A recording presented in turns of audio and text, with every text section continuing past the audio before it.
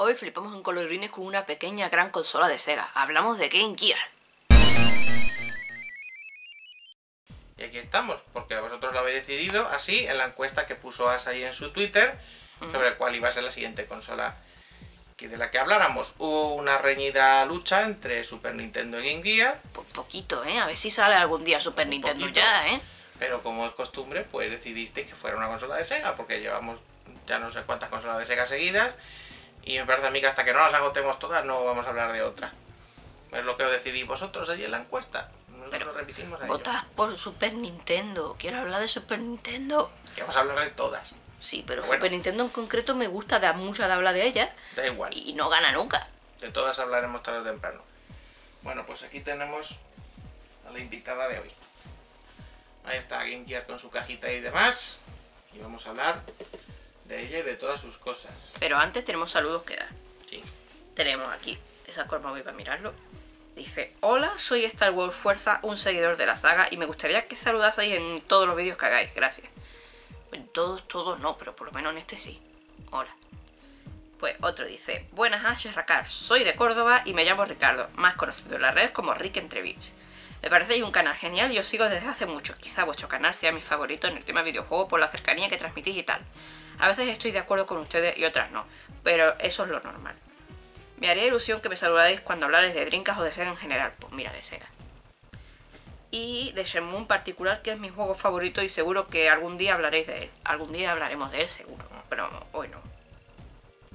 Un saludo, seguís así y no cambiéis cuando os venga la avalancha de suscriptores que realmente os merecéis. No sé si algún día llegará a eso, pero bueno, a nosotros nos da un poquito igual de los suscriptores. Si vienen bien, si no vienen bien. Hacemos eso porque nos gusta. Mientras no venga gente a tocar las narices, y aún así, ellos sabrán. Eso siempre va, va a haber gente así, no te tienes que Pero preocupar. con eso nos conformaríamos. Hmm. Por lo demás, Eso. Y también un saludo a Spinball y a Nisco, que me dice que me saludan en todos los vídeos inconscientemente y yo no los saludo nunca, así que es verdad que lo hace. pues un saludo para ellos también. Saludos, doctor. Sobre todo para el pobrecillo Nisco que nunca nadie lo saluda y se va a tomar complejo de, de actor secundario. Oh, Por eso digo doctor y compañía. Pobrecillo. Pues bueno, eso, que saludados quedan, que por si no lo recordáis se abrieron un, un canal propio y bla bla bla. Pues eso, ya nos metemos en materia, ¿no? Game Gear. Sí. La portátil bonita de ahí que de Sega. Bueno, está aquí dentro, ahora la saco. Una especie de pequeño unboxing, pero vamos, tontería porque es Hombre, un batería. un bossing no Por es. eso. Pero bueno, esta es una de las que tenemos, porque tengo varias por ahí. Y luego tiene la suya también allí y casi todas han muerto por condensadores. pero de hecho, la mía que tengo en el pueblo ha muerto por condensadores. Así que no. Eso pretendía decir cuando he dicho casi todas han muerto por condensadores. Pero esta en concreto funciona y luego tenemos otra más que es la que usa ella que también funciona. Bueno, vamos a enseñar primero la caja por todos los ángulos. Aquí la tenéis, como veis es el pack que venía con Sonic 1 y el adaptador de corriente. Gran amigo el adaptador de corriente. Ahí está por detrás. Está un poquito estropeada la caja por aquí, pero bueno. Se ve ahí con distintos juegos y demás. Vale, vamos a ir abriéndola. Esta caja yo pues la conseguí de una forma un tanto curiosa. Un día estaba en Choyo Games y tenían una caja allí de una Game Gear con el interior y todo. Ah, qué chula, ¿la quieres? Vale, a ti.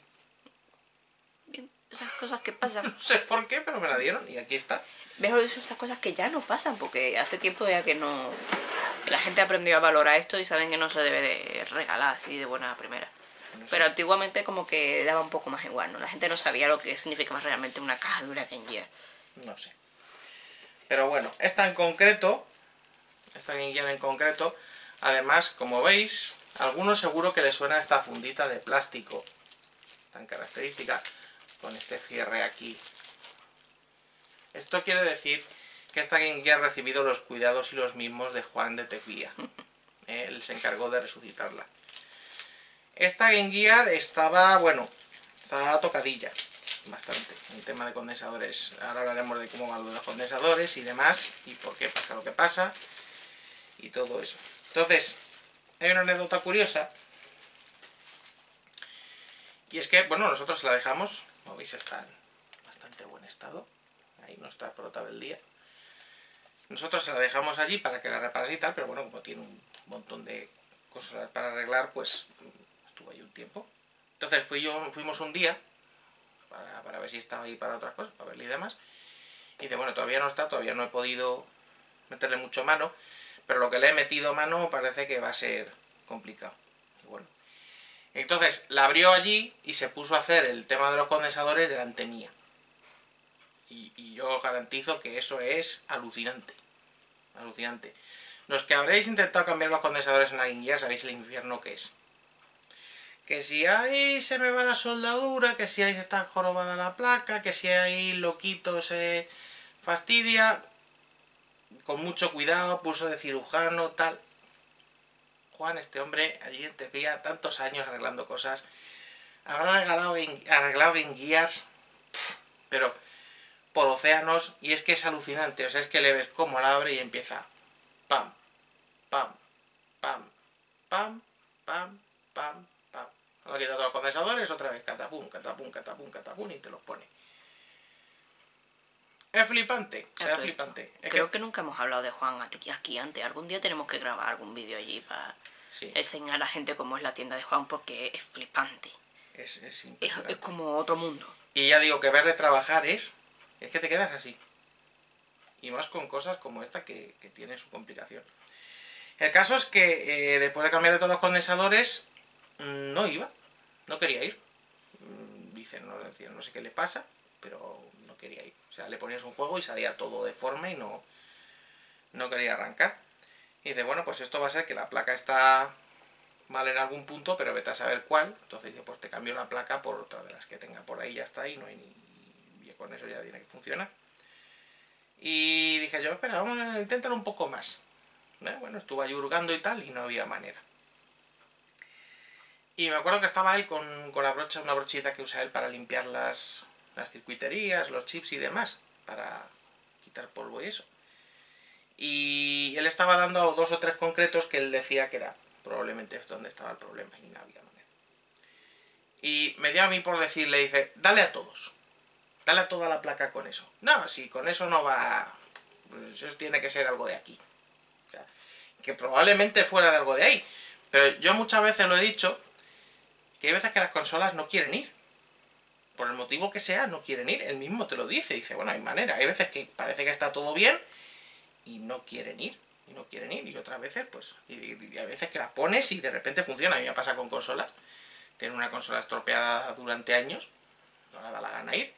Un día la pones y funciona o medio revive. No sé, es una cosa rara. Tiene un poco de vida propia. Y Todos ella, los aparatos electrónicos. ella estaba más que decidido por cambiarle la placa por la de otra. Digo, pásale la brocha a todo, inténtalo solo una última vez. Dice, venga, vale. Ta ta ta ta ta ta ta ta ta ta ta ta ta ta. Perfecta. Funcionando. Eso le dije, dije, ¿ves? ¿Ves? O sea, yo- o sea, hay veces que no quieren, pero cuando quieren, quieren. ¿Eh? Y hay que intentarlo hasta el último momento. Dijo, sí, pues sí, mira, es verdad. Y aquí está. ¿eh? Y funciona. Perfectamente. Además, te deja la pantalla pulidita, toda bien preparada. Y aquí tengo yo una Game Gear ya de lujo, que funciona perfectamente, arreglada por las, las manos de Juan. Vamos a enseñarla bien, que para eso es la protagonista de hoy. ¿eh? La verdad es que el diseño de esta consola es como el de todas las de Sega, prácticamente espectacular. Sobre todo las de esta época. Son preciosas. ¿eh? Ahí la vemos de canto. Que bueno, se habla del tamaño. Bueno, luego hablaremos del tamaño y demás. Pero bueno, vamos a ir contando más cositas. Vamos a ir contando nuestras peripecias con las consolas. Vamos a ir mezclando asuntos. Tú primero. Yo, ¿Cuál es tu experiencia con Game Gear? Muy poquita, la verdad. Muy poquita porque en su día no la tuve. Yo tuve una Game Boy y era muy muy feliz con la Game Boy. De hecho, he visto que tienes una ahí y se me ha saltado la gremilla. Sí, ahora explicaré por qué estás en Boy ahí. Y ya está. Pero tenía una amiga que, bueno, no era del pueblo. Llegó una chica nueva al pueblo y nos hicimos amigas y ella tenía una Game Gear. Y de esto te estoy hablando en el 2000... 2000 o 2001. No... Ya era tarde. Era tarde, sí, no era su época. La cosa es que ya tenía una y... mm, en aquel entonces yo estaba en la época Pokémon y nos intercambiábamos las consolas. Ella quería jugar Pokémon también Digo, bueno, pues te cambio tu Game Boy con el Pokémon por mi, esta máquina portátil. Que yo ya la conocía, porque, hombre, sabía que tenía juegos de Sonic y me gustaba Sonic. Y venga, así, déjame el juego a los Sonic. Y me la prestaba. Y la primera vez que la encendí flipé lo bien que se veía, porque, hombre, sabía que era en color, sabía que era la potencia similar a una Master System, que era una Master System portátil, vamos, por eso no. Pero no me imaginaba lo bien que se veía realmente la consola en vivo. Por lo menos aquella. Y disfruté muchísimo de ella. Jugué horas y horas y horas y horas con, con aquella Game Gear. Me acuerdo que me prestaba Sonic 1 de Game Gear, eh, Woody Pop, que era un juego tipo arcanoid, y otro Halley Wars, que era un, un matamarciano. Y me lo pasé genial y me encantó. Y luego ya conseguiste la tuya propia. Ya, unos cuantos años más tarde, cuando tuve potencial económico, con- me compré una. Que también la disfruté mucho, pero sí que recuerdo que aquella Game Gear, cuando la compré, yo no sabía el tema de los condensadores, no sabía nada. Y fue un poco palo porque fue llegarla, la compré de segunda mano, ¿sabes? Por un foro en internet y tal, la cogí, la encendí, me vino con un cartucho de regalo que fue el Lucky Dime Caper, El de Donald. el de Donald, y un, un adaptador de corriente directamente. Y fue ponerlo, poner el adaptador de corriente. Ah, y el convertidor de Master System. Poner el Lucky Den Keeper y, uy, esto se ve muy mal, pero yo recuerdo que Game Gear se veía estupenda. Y tenía que poner la consola así para verla y no se escuchaba y... Condensadores. Exactamente, yo no sabía que era el tema de los condensadores. Digo, pero será que yo recuerdo mejor la Gear por el momento, pero... Eso le pasa a mucha Esto se gente. ve mal y pero tal, tal, tal. los síntomas de los condensadores empiezan a afectar al sonido. Primero se le va yendo el sonido, Sí, no, esta mía solo se escuchaba con casco. cada vez se va quitando más, más y hasta que llega a que no se, quede, se oye nada y se queda muda.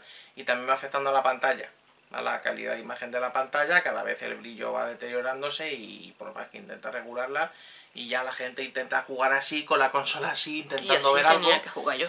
y es, ya es señal de equívoca. Y el, ya el último suspiro de la consola es un día que la enciendes, puff, puff, puff, puff, ya no quiere Nah, a mí a lo que le pasó es que llegó un día que más fue justo después de guardarla y nunca sabré la duda. Hombre, me imagino que será por los condensadores. Pero yo en un momento pensaba que era porque la había roto yo sin querer. La- yo la, la guardaba, la, la guardo en una fiambrera. Me gusta guardar los cartuchos en fiambrera. Y al cerrar la tapa estaba un poco apretada y tuve que apretarla un poco, que no fue, no fue un fuerte, pero Conociéndote le debiste dar un buen meneo. la tuve que cerrar un poco con fuerza y la próxima vez que la saqué la encendía y se veían unas rayas negras, una, se veía negra la pantalla con unas rayas de color ñiña, y se apagaba. Y ya está, y ahí murió mi Game Gear. Pero no fue por eso, fue muerte Fue- de condensadores. Eso sí, esos son condensadores. Pues sí, te digo que el proceso de cambiárselos es muy complicado, bastante complicado, pero se puede hacer. Y si no, pues mira, aquí en TechVia, mm, ¿cuánto cobraba de media? 25 euros creo que era, ¿no? sí, Por- creo que sí, por cambiar los condensadores. Es que te la restaura. Te la abre, te cambia los condensadores, te deja la pantalla nueva, los botones, todo lo que tenga así mal, por 25 euros. O sea, tienes que llevarle tú la Game Gear, claro, eso sí. Si, claro. si tú le compras una, pues tienes que pagarle la Game Gear aparte. De hecho, él hace, vende allí ahora también unas modificaciones especiales, que son tremendas con pantalla LCD. Una maravilla. Que ojo, eh, él hace estas modificaciones de poner una pantalla LCD a la consola que es que se ve espectacular. Él lo hace en base a placas de Game Gear muertas. O sea, él coge Game Gears que tiene allí un arsenal de Game Gears de, defenestradas, que una no solucionaba una cosa, otra tal. Él lo que hace es mm, res- rescatar lo rescatable y a partir de ahí construye estas Game Gears de lujo, que no son baratas, con una pantalla especial y, y demás. Y creo que incluso puede llegar a hacer salida a la tele. Sí, o lo estaba le- estudiando. Le estaba mirando para ponerle salida a la tele, para que la pudieras ver en la tele también. Entonces, eh, ¿por qué digo esto? Porque él hace eso con consolas ya muertas, con trozos de consola muertas. Porque ya lo hemos dicho aquí alguna vez, no somos muy partidarios de coger una consola que funciona perfectamente y liarse a hacerle historias de cambiarle la pantalla, de cambiarle cosas y tal. Eh, por varios motivos. Primero porque si hacemos todo eso, pues va a llegar un momento que no haya consolas originales, tal como era. ¿no? Es una pena. Es una pena, ya que la consola funciona, ha logrado sobrevivir tanto tiempo hasta ahora, No la mutiles. es una pena modificarla. Y otra cosa es, no, es que se ve mucho mejor, se ve mucho mejor, no sé qué, mira, pues si quieres que se te vea mejor, te coges una PSP, emulas la Game Gear ahí y se te va a ver de lujo. O una Nintendo DS que también se ve de, Nintendo de DS. la hostia o tantas otras cosas, consolas Android o Tienes una mil millones de formas GP32, mil maneras. mil millones de formas de hacer que se vea mejor. No, pero es que para que sea el hardware original, el hardware original incluye la pantalla. Todo. Que además precisamente en Game Gear jugaban mucho Sí, con las capacidades de la pantalla. sí. Eh, eh, la pantalla, cómo se ve la pantalla originalmente, es parte de la experiencia de jugar con hardware real. Es decir, es que es a medias tintas. Quiero el, el sibaritismo de jugar con la consola original, pero no quiero que se vea como era la consola original. Un poco raro, ¿no? Digo yo. Es decir, si lo que quieres es jugar y que se vea bien, para usar una consola de ahora con un emulador te vale perfectamente igual, porque Game Gear está perfectamente emulada. Ya digo que in- incluso de ese el- el- está el emulador este para Flashcard, que además incluso te mete algunas mejoras. Aprendiz de Minus DS se llama. Sí. Master System Game Gear. Ese, ese emulador lo único que falla son los samples de voz, por alguna extraña razón suenan súper Bueno, por alguna extraña razón no, porque realmente la única build que hay eh, fue hecha en una jam en dos tardes como entrenamiento para Sí. mejorar el core de Z80 para el subemulador de Mega Drive. Pero bueno, Sí, pero bueno, es, digamos es- que es una ñapa, pero aún así le da mil hostia a cualquier otra cosa que haya. es, eh, va perfecto, va bastante bien. Además se come limitador de sprites, ralentizaciones, otros problemas. Bueno. Pues eso, que si quieres que se vea bien, pues utilizas eso. ¿eh? Si lo que quieres es jugar en una Game Gear original o una Game Boy original o lo que sea, utiliza la consola original tal y como era. Yo, a mí me han enseñado estas Game restauradas, o sea, con las que hace Juan, me las han enseñado con la pantalla esta nueva, y dices, joder, se ve muy bien. Pero sí, porque tú me estás diciendo que esto lo has hecho con trozos de consolas ya muertas. Es decir, lo que estás haciendo es repararlas, resucitarlas. Pero si me hubieras dicho que hubieras destrozado una consola original que funcionaba bien para hacer esto, yo no me habría sentido bien. Y aparte que es que sí, tú coges y es una Game Gear y se ve muy bien y todo lo que tú quieras, pero no es lo mismo. Ya no es lo mismo. Esa pantalla LCD con esas rayitas, esa iluminación concreta, lo que decías, que los juegos están diseñados para ese tipo de pantalla, para aprovechar esas cosas. Ese tono de luz que tiene la pantalla de Game Gear, todo eso no lo tienes en una pantalla de ahora. Entonces digo, pues si ya no vas a perder eso, ¿qué más te da? Emúlala, ¿no? Entonces por eso no somos, siempre nos preguntan, no, ¿por qué no modificáis consolas y demás? No somos muy partidarios de hacer eso. A menos de que sea algo que pueda arreglarse. Pero básicamente por eso dices, ¿quieres hardware real? Vale, tal cual. Una cosa es que repares, porque está estropeado y tal, repara. Pero ¿quieres hardware real? Tal cual. ¿Eh? Pero si mm, lo que quieres es que se te vea mejor, tienes opciones de ahora que no tienes por qué mm, destrozar una consola original.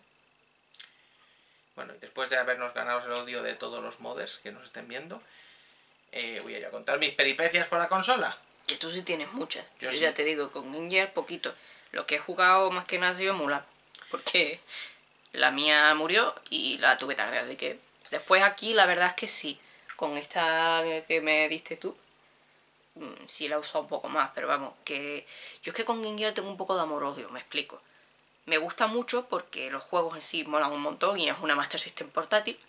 Pero por otro lado tengo un poco de manía porque es una Master System portátil y cuando se habla de los juegos de 8 bits en general de Sega, todo el mundo se va a la Game Gear y nadie se acuerda de la Master System. Cuando Esto- la Master System muchas veces es superior a Game Gear por la resolución de pantalla que hace que los juegos sean, se vean mejor, básicamente. La Game Gear técnicamente es mejor que Master System, tiene algunas de mejoras. diferencias. Ahí está, tiene algunas mejoras técnicas respecto a Master System. Pero la resolución de pantalla Master System hace mil veces más cómodo jugar casi cualquier juego. Y me da mucho coraje que nadie se acuerde nunca de Master System. Así lo que le pasa es lo que le pasa con todo. Con todo, no, Se con harta con cosas. del poserismo de la gente y del no sé qué y el no sé cuánto y lo acaba pagando con la consola sin tener por qué, como le pasa con Sonic 2, le pasa con tantas otras cosas. A Sonic 2 de Mega Drive. De Master System no. ¿Qué es lo que pasa con Game Gear? ¿Qué es lo que se queja ella? Pues que cuando la gente habla de los 8 bits de Sega, de los Sonic de 8 bits, cosas de estas, siempre Game Gear, Game Gear, Game Gear, Game Gear. ¿Por qué? Porque en América es lo que se conoce. Entonces siempre nos tenemos la mala costumbre de coger todo lo que hay en América y para acá, para acá, lo menos concretamente en Estados Unidos. ¿eh? Porque en Latinoamérica las cosas son bastante más diferentes. Sí. Pero en lo que es para la parte de Norteamérica, siempre lo mismo. No, si allí tal consola triunfó, triunfó en todo el mundo, si allí tal consola fue un fracaso, fracasó en todo el mundo, y eso es así. Y de ahí no sacas a nadie porque no es así. Entonces, eh, aquí en Europa, pues ya lo hemos dicho muchas veces que Master System arrasó. Y en otras partes del mundo. Y aquí, pues la verdad que nos fastidia un poco que cuando se acuerda alguien de los 8 bits de Sega, solo se acuerden de Game Gear, porque es una mitad. ¿eh? Que luego también estaría SG-1000, pero bueno, eso ya es otra historia. Pues eso es lo que le fastidia a ella. Sí, básicamente. La consola en sí mola, pero que se acuerden también de Master System, hombre. Es, es que es lo suyo. Bueno, pues mmm, voy yo explicando mis peripecias con la consola. Yo a Game Gear la tengo un cariño infinito. Infinito. Yo tardé en tener la mía propia. La, la mía propia mía, comprada para mí. Mmm, yo la conseguía ya a finales de los 90 o así. La mía. Pero desde el primer momento, o sea, desde que yo, me metí en esto de las consolas, estuve rodeado de Game Gears por todas partes. En, mi barrio era una consola muy popular, muy popular. O sea, la gente tenía, que, lo que más tenían era Master System. Master System, casi todo el que tenía consola tenía Master System. La siguiente era Game Gear. Luego algunos tenían Mega Drive. Y los más raros tenían alguna consola de Nintendo. Por lo menos en aquel momento. Que en otros barrios eran diferentes. Claro, luego otro dirán en mi barrio, pues todo el mundo tenía NES y nadie tenía, no sé, pero vamos, en el mío era así. Entonces yo crecí rodeado de Gears en, en aquellos primeros años. Mis dos mejores amigos, que he hablado de alguna vez de ellos aquí, que me dieron a conocer a Sonic y demás, los dos tenían Gear, una cada, uno cada uno. O sea que mi vecino tenía, no una, tenía dos Game Gear. Cosi, él tenía una y luego no sé de dónde sacó otra. La verdad es que él tenía fama de, bueno, no sé dónde la sacaría. Pero era, digamos que era el bully del barrio. Una cosa así. Y alguien no, perdió su Game Gear. Él, él, sostiene que se la encontró encima de un contenedor. Sí. Bueno, no sé. La segunda, ¿eh? La primera sí la... no sé de dónde la sacaría, pero sí la tenía. Y bueno, pues claro, yo en aquella época me hinché, pero me hinché a jugar a Game Gear. De hecho, yo creo que incluso jugué con Game Gear más que con Mega Drive. Yo tenía Master System. Y, por ejemplo, con este vecino mío, con el que yo, por cierto, sí me llevaba bien, tenía problemas. Recuerdo que cambié consolas un verano. Yo le dejé mi Master System, él me dejó a mí su Game Gear. Y yo me llevé su Game Gear con el Space Harrier y el Outrun. De vacaciones. Típico sitio de playa que te vas, que no hay tele ni nada pues me venía de perlas la Game Gear. Buen provecho que le saqué eso que solo tenía esos dos juegos. Bueno, pues ya digo, mis dos amigos también Game Gear, jugando con ellos a los Sonic, a todo. Mis tardes de verano en, en cuando salió, por ejemplo, sabéis que soy fan de Mortal Kombat, tenemos aquí mil vídeos, lo hemos dicho de todo. Pues yo Mortal Kombat principalmente lo conocí en el de Game Gear. Cuando salió el Mortal Kombat en consolas, el, cuando salió el 1 en, en, Game Gear, mi vecino lo consiguió. No sé cómo, él tenía solo el cartucho, pero bueno, ya esos son otras menesteres. Y mis tardes de verano pues eran jugando con él allí en el patio de, de la casa común, que era un vecindario, una, un pequeño patio con varias casas. Y allí en el patio pues jugando a, al Mortal Kombat 1 de Game Gear. Y así me, me adentré yo en el mundo de Mortal Kombat. De hecho, luego a raíz de eso, para jugar con él, compré yo el de Mega Drive y ya jugamos nosotros al de Mega Drive. Pero yo aquí, el Game Gear con el Mortal Kombat. Y bueno, ya cuando por fin conseguí la mía, que también la tenía toda, la tuve a medias con mi hermano un tiempo, luego ya conseguí yo mi parte y demás. Y desde entonces pues he ido pillando juegos bastantes. De hecho tengo un, buen montón. Por ahí tenemos el vídeo de colección. Seguro que Ashley por aquí mete algún link o lo que sea. Sí, no al final del todo. Prefiero meterlos si no, al final del todo. Si no, al final ahí lo tenéis. Aquí voy a enseñar algunos de los juegos que tenemos. Algunos. Ya digo, si queréis ver todos están ahí en el, en el vídeo. Es posible que falte alguno que hemos conseguido recientemente. Por ejemplo, ayer mismo conseguimos uno. Uh -huh. Que estábamos buscando hace tiempo, el Power Rangers. Qué grande los Power Rangers. El primer Power Rangers, no el de la película, el anterior. El anterior de la serie. Y Game Gear pues es una consola que siempre ha tenido ahí presente. O sea, cuando ya he tenido yo la mía, pues he ido consiguiendo juegos progresivamente. Y le tengo un cariño enorme. Y ya digo que es... Para mí esta consola es como la Nomad de Master System.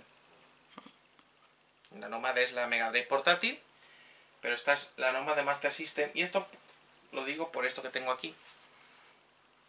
Master Real Converter. El mío es distinto. Esto, sí, bueno, eh, esto salió oficialmente de Sega. Con licencia de Sega. Lo fabricaba una compañía. No sé si lo pondrá por aquí. Pero bueno. Inicialmente salió con licencia de Sega. Hay muy poquitos Master Real Converters con el logo de Sega. No queréis preguntar lo que vale eso. Entonces, no sé por qué, Sega enseguida retiró el, al poco tiempo de salir, retiró el apoyo al accesorio y la, la empresa que se los fabricaba siguió haciéndolos por su cuenta. Ya sin el logo de Sega, sin la licencia de Sega. Y se seguía llamando igual Master Gear Converter. Y claro, ya vinieron una variedad de cajas notable. Pues mira, este, ahí tiene una curiosidad, no sé si se verá, la pegatina esa del casco convertes aquí en la esquina, no se la he quitado. ¿Eh? Este yo lo compré en uno de los primeros casco convertes que abrieron aquí en España, a finales de los 90, y esa pegatina en pesetas, 1300 pesetas, es la que traía en la época. Eso es lo que me costó a mí este chisme. Y bueno, vamos a enseñar cómo funciona. Este era un accesorio que aquí lo tenía todo el mundo. O sea, si tenías una Game Gear, tenías que tener este accesorio. Aquí, por aquí. Y así ya diréis, no, pues yo no lo tuve, pues muy mal. Hiciste muy mal si no tuviste. Te arrepentirás toda tu vida. Porque esto es una maravilla. Esto es algo que hay que tener sí o sí si se tiene una Game Gear. ¿Por qué? Porque esto es lo que decía antes. Tú coges, se lo pones aquí detrás, lleva tornillito para sujeción. Hay otros modelos también, aparte de este, este es el, más común. Luego hay otro que se pone aquí más finito, que el, cartucho de Master System sale hacia sí, adelante. Sí, ese es el que tengo yo. Ese es el que tienes tú. Ese, por lo visto, es rarete. Y ese lo busca la gente mucho porque te permite utilizar esto. La lupa. La lupa de la Game Gear, para aumentar el tamaño de la pantalla y que se vea mejor era muy útil los juegos de Master System, por esto que comentabas de la resolución antes, por si no se veía muy pequeñito. Entonces con el adaptador oficial no puedes poner la lupa porque la lupa va enganchada aquí, en este tornillo, choca. Pero con el que tienes tú, que es más finito, que se pone por aquí arriba, sí se puede utilizar, se puede utilizar en conjunto. La verdad es que acaba ahí un Megazord bastante curioso, pero se puede utilizar. Entonces la gente buscaba mucho ese, ese adaptador de Master. ahí está la lupa su caja y todo. ¿eh? Ahí está. La oficial. Esta es de Big Tokai, ¿ves? Probablemente estos eran los que fabricaban, aunque tienen licencia oficial de Sega, estos eran los que fabricaban el adaptador. Bueno, pues aquí está. En el momento que tú le pones esto a tu Game Gear... Ahora que estoy pensando, Big Tokai llegó a sacar juegos para Mega Drive. Sí, sí, sacaron montones de cosas. Mm. A partir de ese momento ya tienes una Master System portátil. Claro, esto para un usuario de Game Gear era la, hostia. Porque prácticamente duplicabas el catálogo de la consola. Mm. Hay quien te viene y te dice, pero es que Master System Game Gear el catálogo es el mismo. No, no, es el mismo. Comparten juegos, comparten juegos. Pero incluso esos propios juegos cambian bastante. Quitando algunos casos, por ejemplo, como Castle of Illusion, que es prácticamente igual en las dos. Para empezar, la resolución hace que el juego sea muy diferente. Sí. Esos son los que menos cambian. Cambia bastante, pero esos son los que son comunes. Pero vosotros decidme dónde está este juego en el catálogo de Game Gear. Mira el Skid y Miracle World. ¿Dónde está el Skid en el catálogo de Game Gear? ¿O dónde está Battletoads en Master System que no sea el Battlemaniacs? Por ejemplo. pues tú coges tú al Skid y Miracle World de Master System. Ahí está el cartuchete. Y para adentro. Ahí asoma. ¿Veis? Qué chulo queda. ¿Y qué pasa? Que tú puedes jugar aquí al Skid y Miracle World. ¿Y sabéis qué es lo mejor? Que el botón de pausa de la Master System, ese que te tenías que levantar a darle, se mapea al Start de la Game Gear. Entonces en juegos como este es muy útil porque tú tienes que estar entrando en el inventario con bastante frecuencia para utilizar los objetos.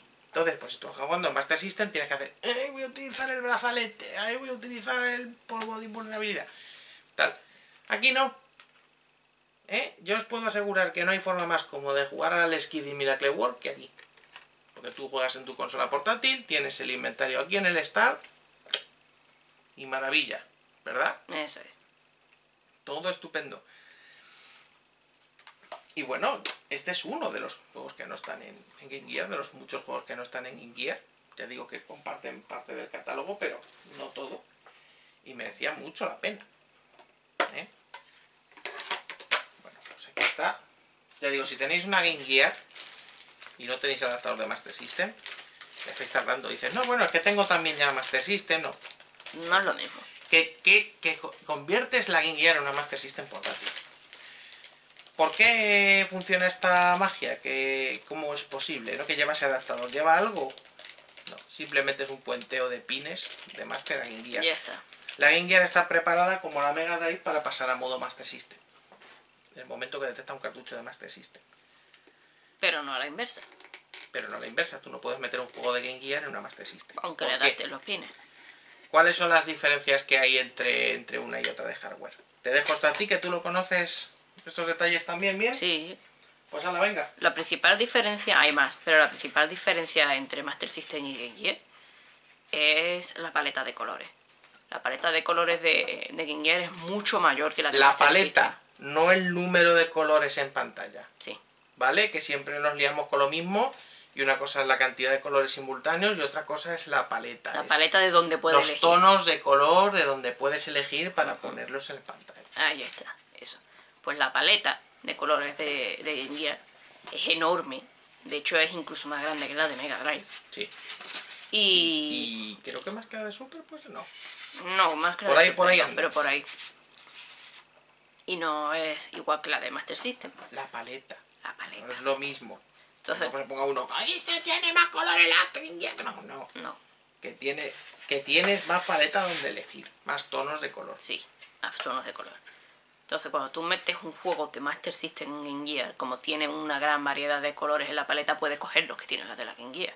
Sí, eso la Game Gear entra en modo Master System y usa paletas de Master de Master System, pero cuando es a la inversa no, porque la Master System no tiene y además, aunque sea un juego que utilice los mismos colores, como por ejemplo, yo que sé, Castle of Illusion, que es el mismo juego, utiliza los mismos colores, no ves diferencia notable entre unos y otros, están mapeados de diferente manera. Así que, un ejemplo, por poner si en la lista de colores en Master System 1 es rojo, 2 es negro, 3 es azul, 4 es amarillo, por poner, en Game Gear no. Eh, uno es rojo, dos es rosa, Rojo más clarito, tres es rojo eh, más rosa un poquito más oscuro, eh, cuatro es azul, cinco es azul un poquito más claro, Sí. seis un azul un poquito más oscuro. Entonces, cuando intenta leer la Master System, te lee 1, 3, 4, pues coge su 1, 3, 4 y sale todo desfaratado. Sí, Ese es el tú puedes- problema. tú puedes coger con una Master System, con un flashcard de Master System, meter ROMs de Game Gear, cambiándole la extensión para que las detecte el flashcard y funciona. Y De hecho, puedes jugar. Ni siquiera te hace falta un flashcard de Master System en la propia Mega Drive. Cuando la pues, se Sí. pone en modo Master System, se pone en modo Master System. aunque hemos- tenga más colores que Master Hemos System. corrido ROMs de Game Gear en, la, en el Everdrive de Mega Drive. Sí, El problema es que no es una mierda. O sea, todo funciona como tiene que funcionar, pero los colores, pues se ve horrible todo. Porque se excepto que esté negro. adaptado, claro. Hombre, si es una Roma adaptada. Pero que se podría hacer, yo no sé por qué no se hace más. Se hace. Pero bueno, Hay un montón de gente que se dedica a adaptar juegos de Game Gear Master System. Que andan por ahí. Por ejemplo, Sí, bueno. en SMS Power, que es una página web, hay un listado enorme de, de hacks Y- de juegos de Game Gear. Y oficialmente Tectoy lo hacía oficialmente, sí. Un montón de juegos de Game Gear adaptados a Master System que los puedes meter en un cartucho de Master System y funcionan, los puedes meter en un Everdrive de Master System o en el Everdrive de Mega Drive y correrlos en la Mega Drive. hay que decir que adaptar un juego de Master System a Game Gear no es simplemente cambiar los colores si lo quieres hacer bien. Hay juegos en los que sí hacen simplemente eso, incluso Tectoy lo hizo con algunos en su día, como el Baku Baku. Pero si tú quieres adaptarlo bien, tienes que adaptar el zoom. Y eso ya es más complicado. Sí, porque normalmente los juegos adaptados de Game Gear se ven con un marquito y cutre. Tienes, tienes que tener en cuenta que todo lo que tú estás viendo en pantalla lo tiene que generar la consola.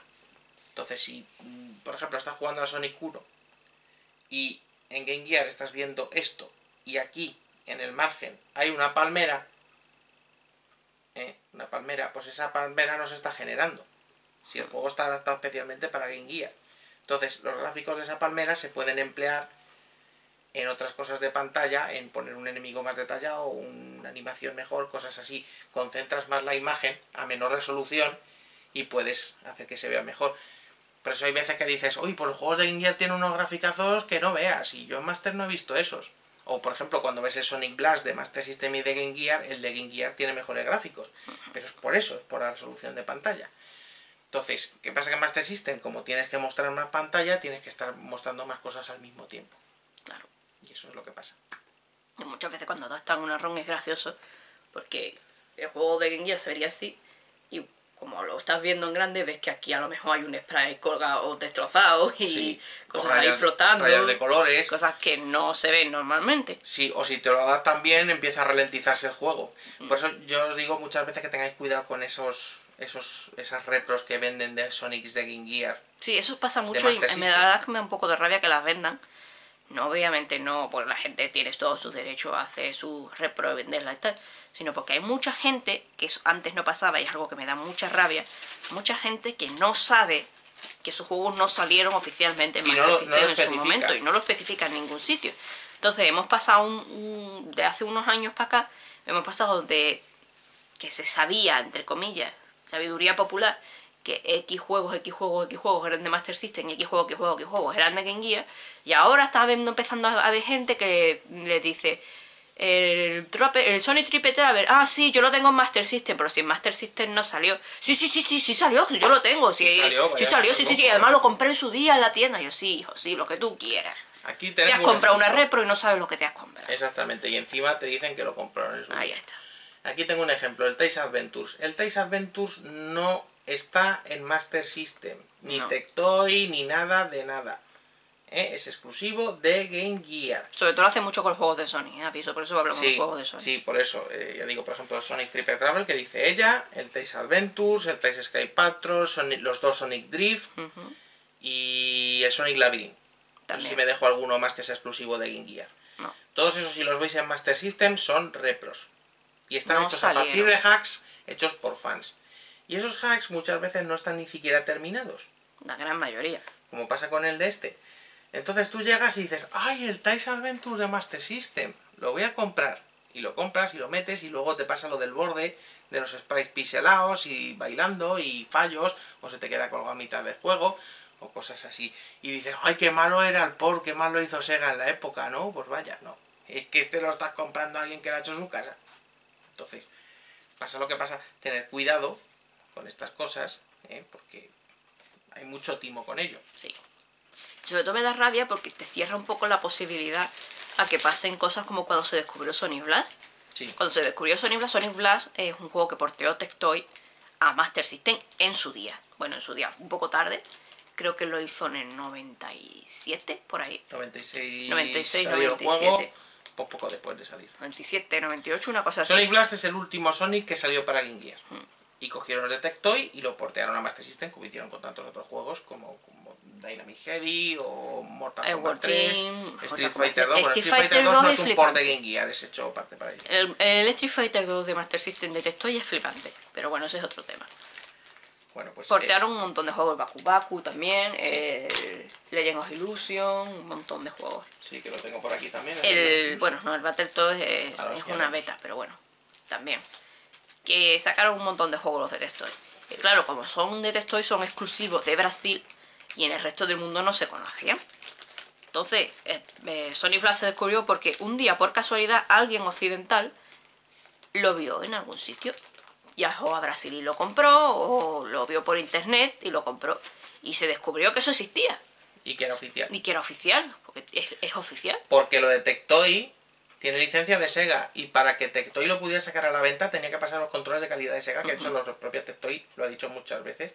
De hecho, teníamos que estar pendientes de que Sega Japón nos diera el visto bueno a todo lo que hacíamos, porque si no, no nos dejaban sacarlo. ¿Eh? Que he visto a gente decir, "Oh, que los de Tectoy son repros, son falsos, son inventados, son bootlegs. No, son oficiales. No los fabricaba Sega, los fabricaba Tectoy, pero son 100% oficiales. Igual que los de Master System norteamericanos que son de Tonka. Son distribuidos por Tonka, pero son juegos O oficiales. los juegos de Game Gear, que voy a aprovechar a enseñarlo ya, que son de Mayesco.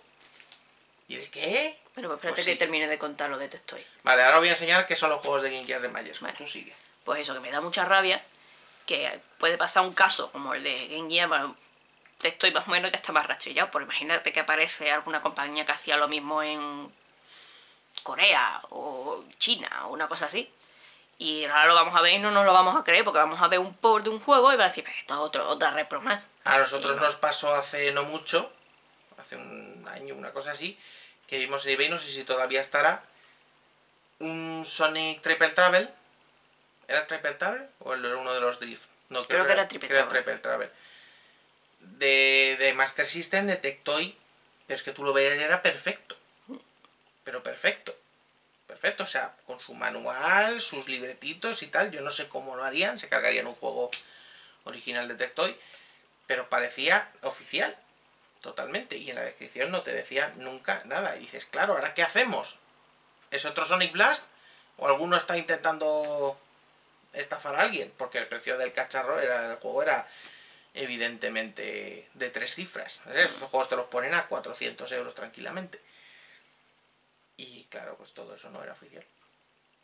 Todo eso no era oficial. Claro, para la comunidad de Sonic todo eso es muy importante. Porque Claro. dices, hostias, es que si Tectoy en algún momento llegó a portear este juego, aunque incluso no lo sacara a la venta, la ROM estará adaptada y a nosotros nos interesa tener la ROM. Claro, y, o simplemente por simple investigación. Por investigación, por, Por investigación, aunque para jugarlo luego los jueves con el hack de fulanito o la versión de Game Gear directamente, Claro. o no, no es ni por coleccionismo ni nada, es simplemente la investigación. Es decir, es que esta gente está haciendo daño a la comunidad y Sí, al- están a haciendo a la mucho daño. En general, este tipo de cosas están haciendo muchísimo daño a la historia de los videojuegos. Sí. Porque nosotros, por ejemplo, nos- somos más mayores y lo hemos vivido y sabemos lo que es, pero imagínate que tú acabas de empezar ahora con el coleccionismo, seas un chavalito joven o una persona mayor que acaba de empezar a meterse en el mundo del coleccionismo o de los videojuegos retro y tal, y empiezas a buscar información, buscar cosas y te encuentras esto.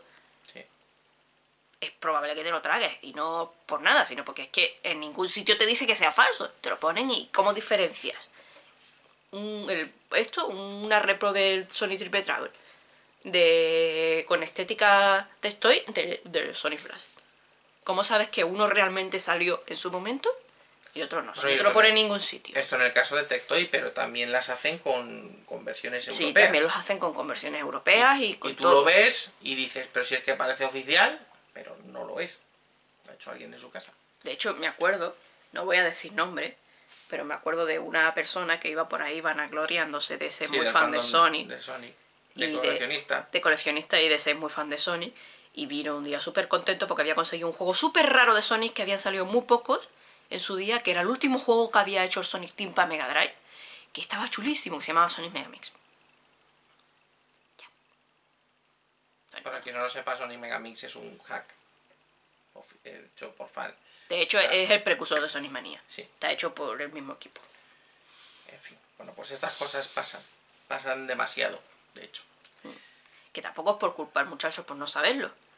Pero ¿quién ha sido el listo que te ha vendido eso y te ha dicho que es un juego oficial? Y a saber lo que habrá pagado. Ahí está. ¿Quién te ha dicho que eso es un juego oficial? Pues eso. Bueno, Pobre lo han timado o lo han timado, pero... le timaron por arriba muy rápido. Bueno, más cositas que nos perdemos. Eh, vamos a ver, más cosas que me queda a mí por la época de contar de la época, Tú sabrás de tu época. de mi infancia. Tú sabrás de tu infancia. Mm, yo creo que no. Pero sí que estábamos hablando antes. Vamos a. Porque si no, luego se me olvida. Que luego me ves viendo el vídeo y yo se me olvida decir lo que sea o lo que sea lo demás allá. Ya me he acordado ahora. Vamos a, antes de repasar eso. Vamos a lo que decía de Mayesco. ¿Qué es Mayesco? Pues Mayesco es una empresa que, Que por cierto cerró hace poquito, qué pena. Sí, definitivamente. Mayesco es una empresa que cuando Sega dejó de producir cosas de Game Gear en América, en Estados Unidos concretamente, hizo lo mismo que Tectoy en, en Brasil. Dijeron, pues nosotros los, los refabricamos y con licencia oficial de Sega y los sacamos.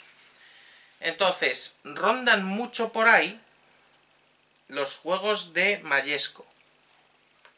Esto que tengo yo aquí, que en principio parece un Sonic Chaos americano, sin más historias, esto es uno de los de Mayesco. Es que son reediciones. Aquí sí son reediciones. Es decir, tú tienes el Sonic Chaos original de Game Gear que salió en América en su día. Y luego tienes esta reedición de Mayesco. ¿Por qué digo todo esto? Porque esto se ve mucho ahora. Lo ves y, ves que vas a una tienda y tienen 6 o 7 de estos precintados. ¡Hala! ¿De dónde has sacado eso? Mayesco. De las oficinas de los almacenes de Mayesco, ¿eh? cuando dejaron todo este asunto. Todos estos juegos son de los años ya 2000 y algo, ¿eh? principios de los 2000, que ya es cuando se hicieron con ello. ¿Cómo se distingue? ¿Cómo se distingue uno de estos no original? Es muy fácil. Lo primero, el cartón. El cartón es más poroso. Se nota que es de peor calidad, no es tan poroso. Lo segundo, y evidentemente más llamativo, simplemente darle la vuelta atrás, ya que no lo vais a leer, por mucho que yo lo enseñe, pero por aquí pone Mayesco. ¿eh? Te pone la licencia distribuido por Mayesco. Mira los copyright aquí y te lo pone. Que no tiene caja el que tú has comprado. ¿Y cómo lo distingues? Bueno, mira, pues por dentro... Vamos a sacarlo. Aquí tengo el juego. En principio parece un juego normal. Ahí va una fundita de Game Gear. Pero si os fijáis, voy a coger uno normal. No sé si se notará la cámara. Pero yo lo voy a intentar. Aquí tenemos el de Mayesco. Y aquí tenemos uno normal, el Columns, por cierto. Bueno, pues no se va a ver. Si lo puedes acercar tú que estás más cerca, cógelos así. Acércalo. No sé si veréis que uno es más negro que el otro. No sé ¿Eh? si se ve. Este, el Columns, es más clarito. Si no pillas el reflejo, mejor. Este es más clarito y este es más oscuro. Más, es completamente negro. ¿Eh? Los normales son de color gris oscuro y estos de Mayesco son negros. También se nota la calidad de la pegatina. Vale. Incluso, bueno, si... No sé si lo pone por aquí detrás, no. No hay más. ¿Eh? Si veis un cartucho de Game Gear completamente negro, es de Mayesco. Completamente negro, porque los otros son gris oscuro. Eh, a ver si ahora vais a ver uno ahí y... No, es de Mayesco. Además son títulos muy concretos. Por ejemplo, el, realizaron el Lucky el segundo, el Deep Travel el Aladdin, el Sonic Spinball, si mal no Sonic, Sonic Spinball, el, Sonic Chaos, también que lo tengo por ahí, el Sonic 2 también lo reeditaron, eh, el Rey León me parece, creo que también, no sé, hay un, son una serie de títulos concretos que son los que se ven siempre por ahí en mm. ferias y demás, que ves que tienen 40 allí precintados, pues son por esto, son los de Mayesco. Eh, también se nota que el manual en que el manual, la portada normalmente, cuando son los originales de Sega, la portada es a color. Bueno, pues estos de Mayesco no, es en blanco y negro. A ver si puedo sacar el manual por aquí para que lo veáis. Y una pregunta importante que me lo ha preguntado la gente más de una vez y ya que estamos hablando del tema hay que decirlo. ¿Veis? Está en blanco y negro, pues los de Sega oficiales son en color. ¿Qué? ¿Son peores los juegos de Mayesco que los de Game Gear? ¿Peores en qué sentido? si funcionan peor, que si te dan a elegir uno a otro. No, sí, es un no hay diferencia de calidad, no tienen peor calidad. No, y además, ¿qué pasa con lo que decíamos del Tectoy? Sega Japón tenía sus controles, o sus, Sega oficial, tenía sus controles de calidad y tenían que pasarlos, si no, no les dejaban sacarlos a la venta. Claro. ¿Eh? Pues eso que la, calidad se nota un poco en el cartón de la caja, el plastiquito, pero no son peores, son diferentes. Sí, lo que es el cartucho es... El cartucho es igual, va a funcionarte igual, no te va a dar más fallos, no nada. Igual, la misma calidad. Bueno, calidad de plástico, de cartón... Sí, no, pero prefiero de fiabilidad de juego. Funcionalidad. Funcional La calidad de juego, quiero decir, no el plástico y tal. Como lo detecto mm. Igual. Bueno. Que no es como si te lo grabaran un brinco, vamos. Sí, que no, es como si fuera pirata. Eh, que ya he visto, ya digo que gente que considera estos juegos piratas y no sé exactamente de dónde coño se saca. Mayesco no solo reeditó juegos, sino que también reeditó la propia Game Gear. Y, esa ahí sí es interesante. Esas Game Gear se han vuelto muy cotizadas porque no tienen el famoso problema de los condensadores. Y ahí vamos a pasar ya a explicar qué pasa con los condensadores. ¿No lo hemos explicado antes? No. Bueno explicado cómo mueren, pero no por qué. ¿Por qué pasa esto? Bueno. Esas Game no tienen el fallo de los condensadores, porque que son reediciones ya posteriores. ¿Cómo se distinguen de una Game Gear normal? Pues estos tres colorines que tiene por aquí en el logo, ¿los veis? Son grises. No tiene color. Son los tres estos grises. Luego el botón Start creo que es de otro color, es más bien tirando a morado. Este es más azulito. Y creo que hay alguna pequeña diferencia más, como el color del plástico pasa más o menos como con los cartuchos. Esto es gris oscuro y la otra es negro. Creo que esas son las únicas diferencias que hay. Yo no tengo la de Mayesco, las hemos visto por ahí tal, y sabemos que, tiene estas diferencias, pero nada más. Ah, sí, creo que la pantalla es un poco mejor, da un poco mejor de calidad, y gasta menos pilas. La duración de, baterías es un poco mayor, que luego también hablaremos de las pilas. Seguro que estáis ahí, ¡Ah, las pilas, las pilas! ¿Estáis hablando de y estáis hablando de pilas? No, vamos a hablar de las pilas pesados. Bueno, pues eso es lo que pasa con la Game Gear de Mayesco. ¿Qué era lo que tú querías hablar? Ah, sí, vamos con los condensadores. Eso, los condensadores. ¿Qué pasa? ¿Por, ¿Por, qué se fastidian los condensadores de la Game Gear? Los condensadores se fastidian todos. De todas las consolas, todos mueren. Todos. Con el tiempo. Con el tiempo. Eso os va a pasar a todos. Y llegará un momento en que todos los aparatos retro mueran. Sí, vuestra querida consola NES, Mega Drive, Super Nintendo de la infancia que tenéis ahí que todavía funciona, un día hará dejará de funcionar por condensadores, probablemente. Por mil cosas. Puede funcionar, dejar de funcionar por otras cosas, pero los condensadores un día van a morir. Pensar en ello como si fueran unas pilas de larga duración y tarde o temprano vais a tener que cambiárselas. ¿Qué es lo que pasa? Que los de algunas consolas son de peor calidad y mueren antes. Esto le pasa, por ejemplo, a PC Engine. Con, las PC Engine, sobre todo las, las DuoR demás estas, los temas de los condensadores hay que cambiárselos. Eh, creo que alguna, no sé si alguna de las links me parece que también había que cambiárselo. No sé, eh, es algo que le pasa a más consolas. A Game Boy Advance SP, por ejemplo, le pasa también. También, mm. bueno. Lo que pasa es que el caso más conocido es el de Game Gear, pues una consola muy popular y pues ha quedado ahí. No es uno de los primeros casos con los que la gente se da cuenta, porque quien tiene una PC Engine aquí, poca gente. Pero eso es así, eso es así. Y os va a pasar con todas las consolas, es ley de vida. Entonces, cuando Sega fabricó Game Gear, que dicen, no es que las hacían de muy mala calidad. No. Si se hacía para ahorrar costes, ¿vale? Pero claro, cuando Sega fabricaba las Game Gear, no las hacían pensando en que tú ibas a seguir utilizándola 25 años después. No. ¿Eh? Ellos ni 25 ni 15. Ellos hacían para pensar, dice, bueno, pues te dura 10 años, o 15 o los que sean, y ya son mucho más de lo que te puede durar una consola de hoy en día, ¿eh? Pero te las hacían así. Y dices, yo que voy a saber que tú dentro de 25 años, a saber dónde está Sega dentro de 25 años, estoy pensando en, en la época de entonces, ya ves tú, me vas a venir a mí a reclamar que te cambie los condensadores. Pues así lo hacían, pero lo hacía Sega y lo hacían muchas otras. Lo que pasa que ya digo, los de unas eran más calidad que otras y duran más tiempo. Pero eso va a pasar con todas. Es ley de vida. Y, lo peor no es las consolas, porque las consolas le cambian los condensadores y ya está. Lo peor son los cartuchos. Sí. Porque los cartuchos mueren. Tanto que se dice, el formato físico es para toda la vida y el cartucho tiene mayor longevidad que el CD, porque el CD a la larga se estropea y se raya. Los CDs también. Todo muere. Pero los cartuchos, las EPRON, se corrompen con el tiempo.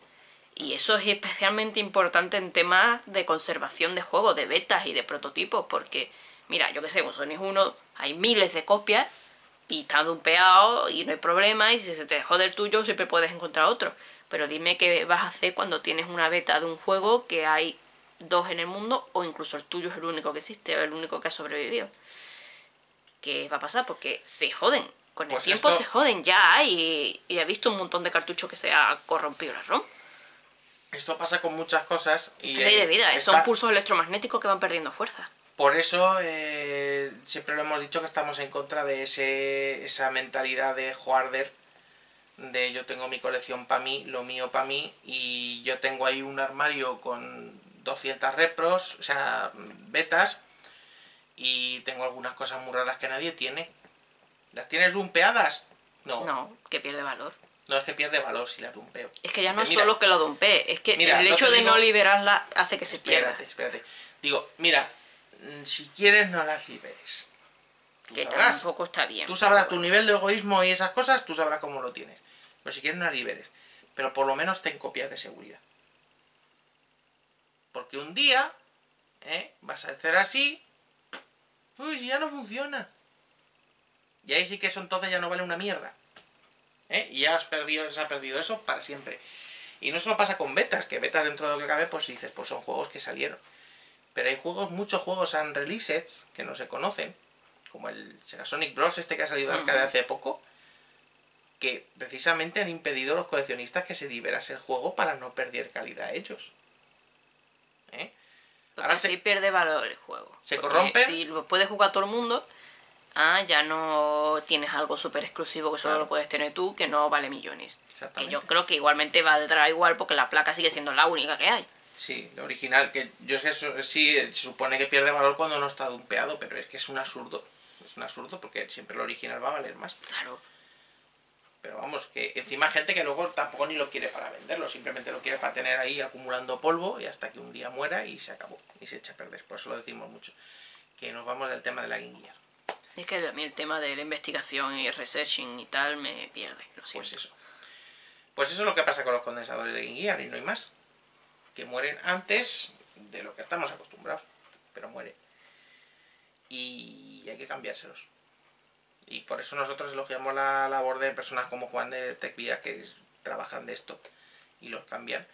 Y hay muchos otros por ahí que lo hacen porque las consolas, si dentro de 50 años hay una Game Gear funcionando, será gracias a esta gente. Porque tenemos la puñetera manía de pensar siempre yo en el yo, en el yo, en el ahora. Ya está. Y el que venga detrás que se joda. Y las cosas... mm, No vamos a estar nosotros aquí para siempre. ¿Eh? Y esto es ¿Qué- historia. ¿Qué queréis? No, es que ahora pues yo puedo coger una Game y como las haya patadas, la destrozo, le pongo una pantalla de CD, le meto una ranura para ra- flashcard, para lo que yo me dé la gana, porque yo soy muy guay y no me gusta jugar con un emulador, pero me gusta mm, jugar una Game modificada y todo eso. Bueno, pues a lo mejor dentro de 100 años esa Game es la única que queda. Y entonces, pues cuando esté en un museo o lo que sea y tal, la gente se va a pensar que así era la Game. Y que te digo Game Gear, digo cualquier otra consola, cualquier otra cosa. Entonces, por eso, si queréis jugar, que tenéis cosas modernas, alternativas modernas. Y con los cartuchos, pues eso, lo mismo. Hay que cuidar las cosas. Tener una de estas cosas es una responsabilidad. Estás teniendo una pieza de historia en la mano. Mm. Hay que cuidarlo. Sí. Y Ya no solo para ti, porque nosotros lo hemos vivido. Lo recordamos, lo tenemos vivo en nuestros recuerdos, como era la época en la que Master System, Game Gear, Mega Drive, NES estaban en las tiendas y eso. Pero ¿y nuestros hijos? O los chavalitos que están empezando ahora. Ellos lo único que tienen es lo que se conserve. Igual que he dicho antes de las repros que venden sin decir que son repros y que luego la gente no sabe lo que pasó realmente en la historia del videojuego, con esto lo mismo.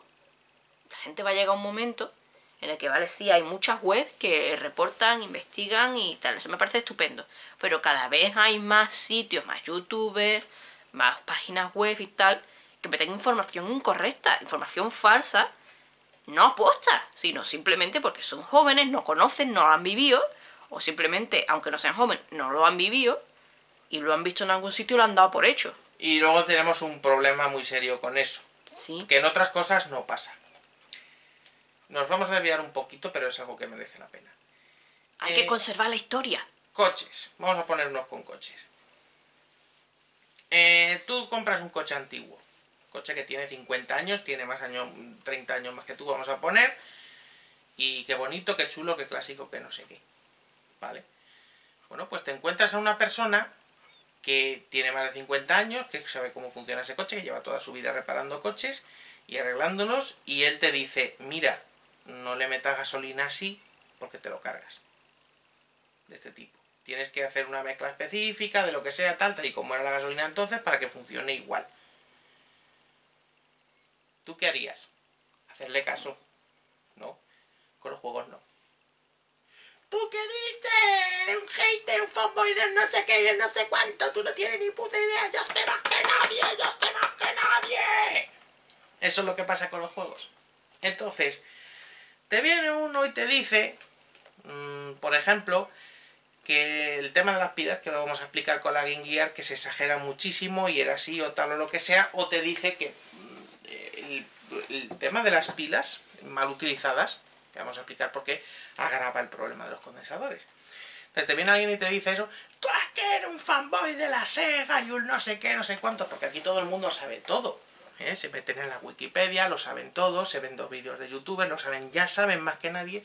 Y por supuesto todo el que venga, por mucho que lleve siglos con esto, y lo haya investigado y sepa cómo funciona y esté harto de utilizarlo y de usarlo, ¿eh? no tiene ni puta idea porque mm, con miras en la Wikipedia ya lo sabes todo, pues pasa lo que pasa. Entonces en los juegos tenemos este problema añadido. ¿Eh?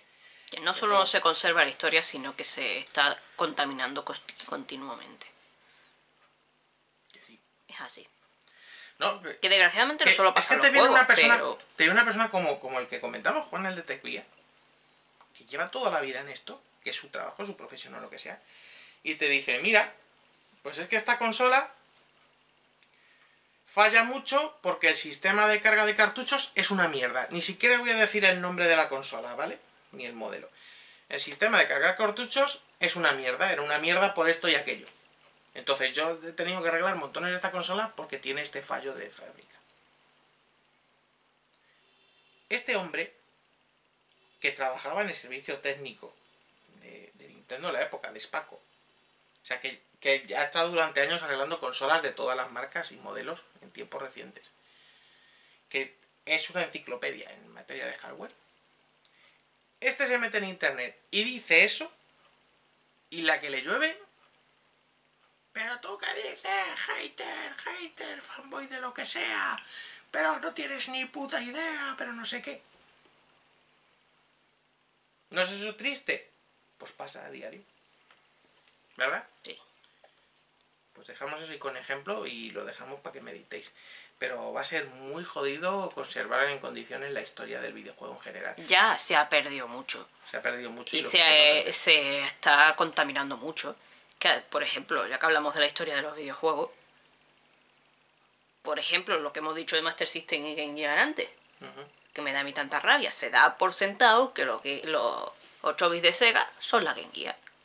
Y que Master System fue un fracaso absoluto y que no funcionó nunca. Que nadie la tuvo y, Que nadie la tuvo y ya está. Y eso es lo que pasó en y que Estados to- Unidos. Todo su catálogo salió en Game Gear y son los mismos juegos. Y, Eso y pasó en que, y Estados que era una Unidos, no para aquí. pobres, como he visto gente diciendo por ahí. Eso es lo que pasó en Estados Unidos, no aquí, pero por esa contaminación de gente que empieza y ve las fuentes y no contrasta y se traga lo primero que pilla, se va expandiendo, se va expandiendo y he visto mucha gente, mucha, españoles, europeos, chavalitos y no tan chavalitos que te vienen diciendo, no, no, aquí Master System no vendió nada, Master System no vendió nunca y aquí lo que funcionaba era Game Gear y NES.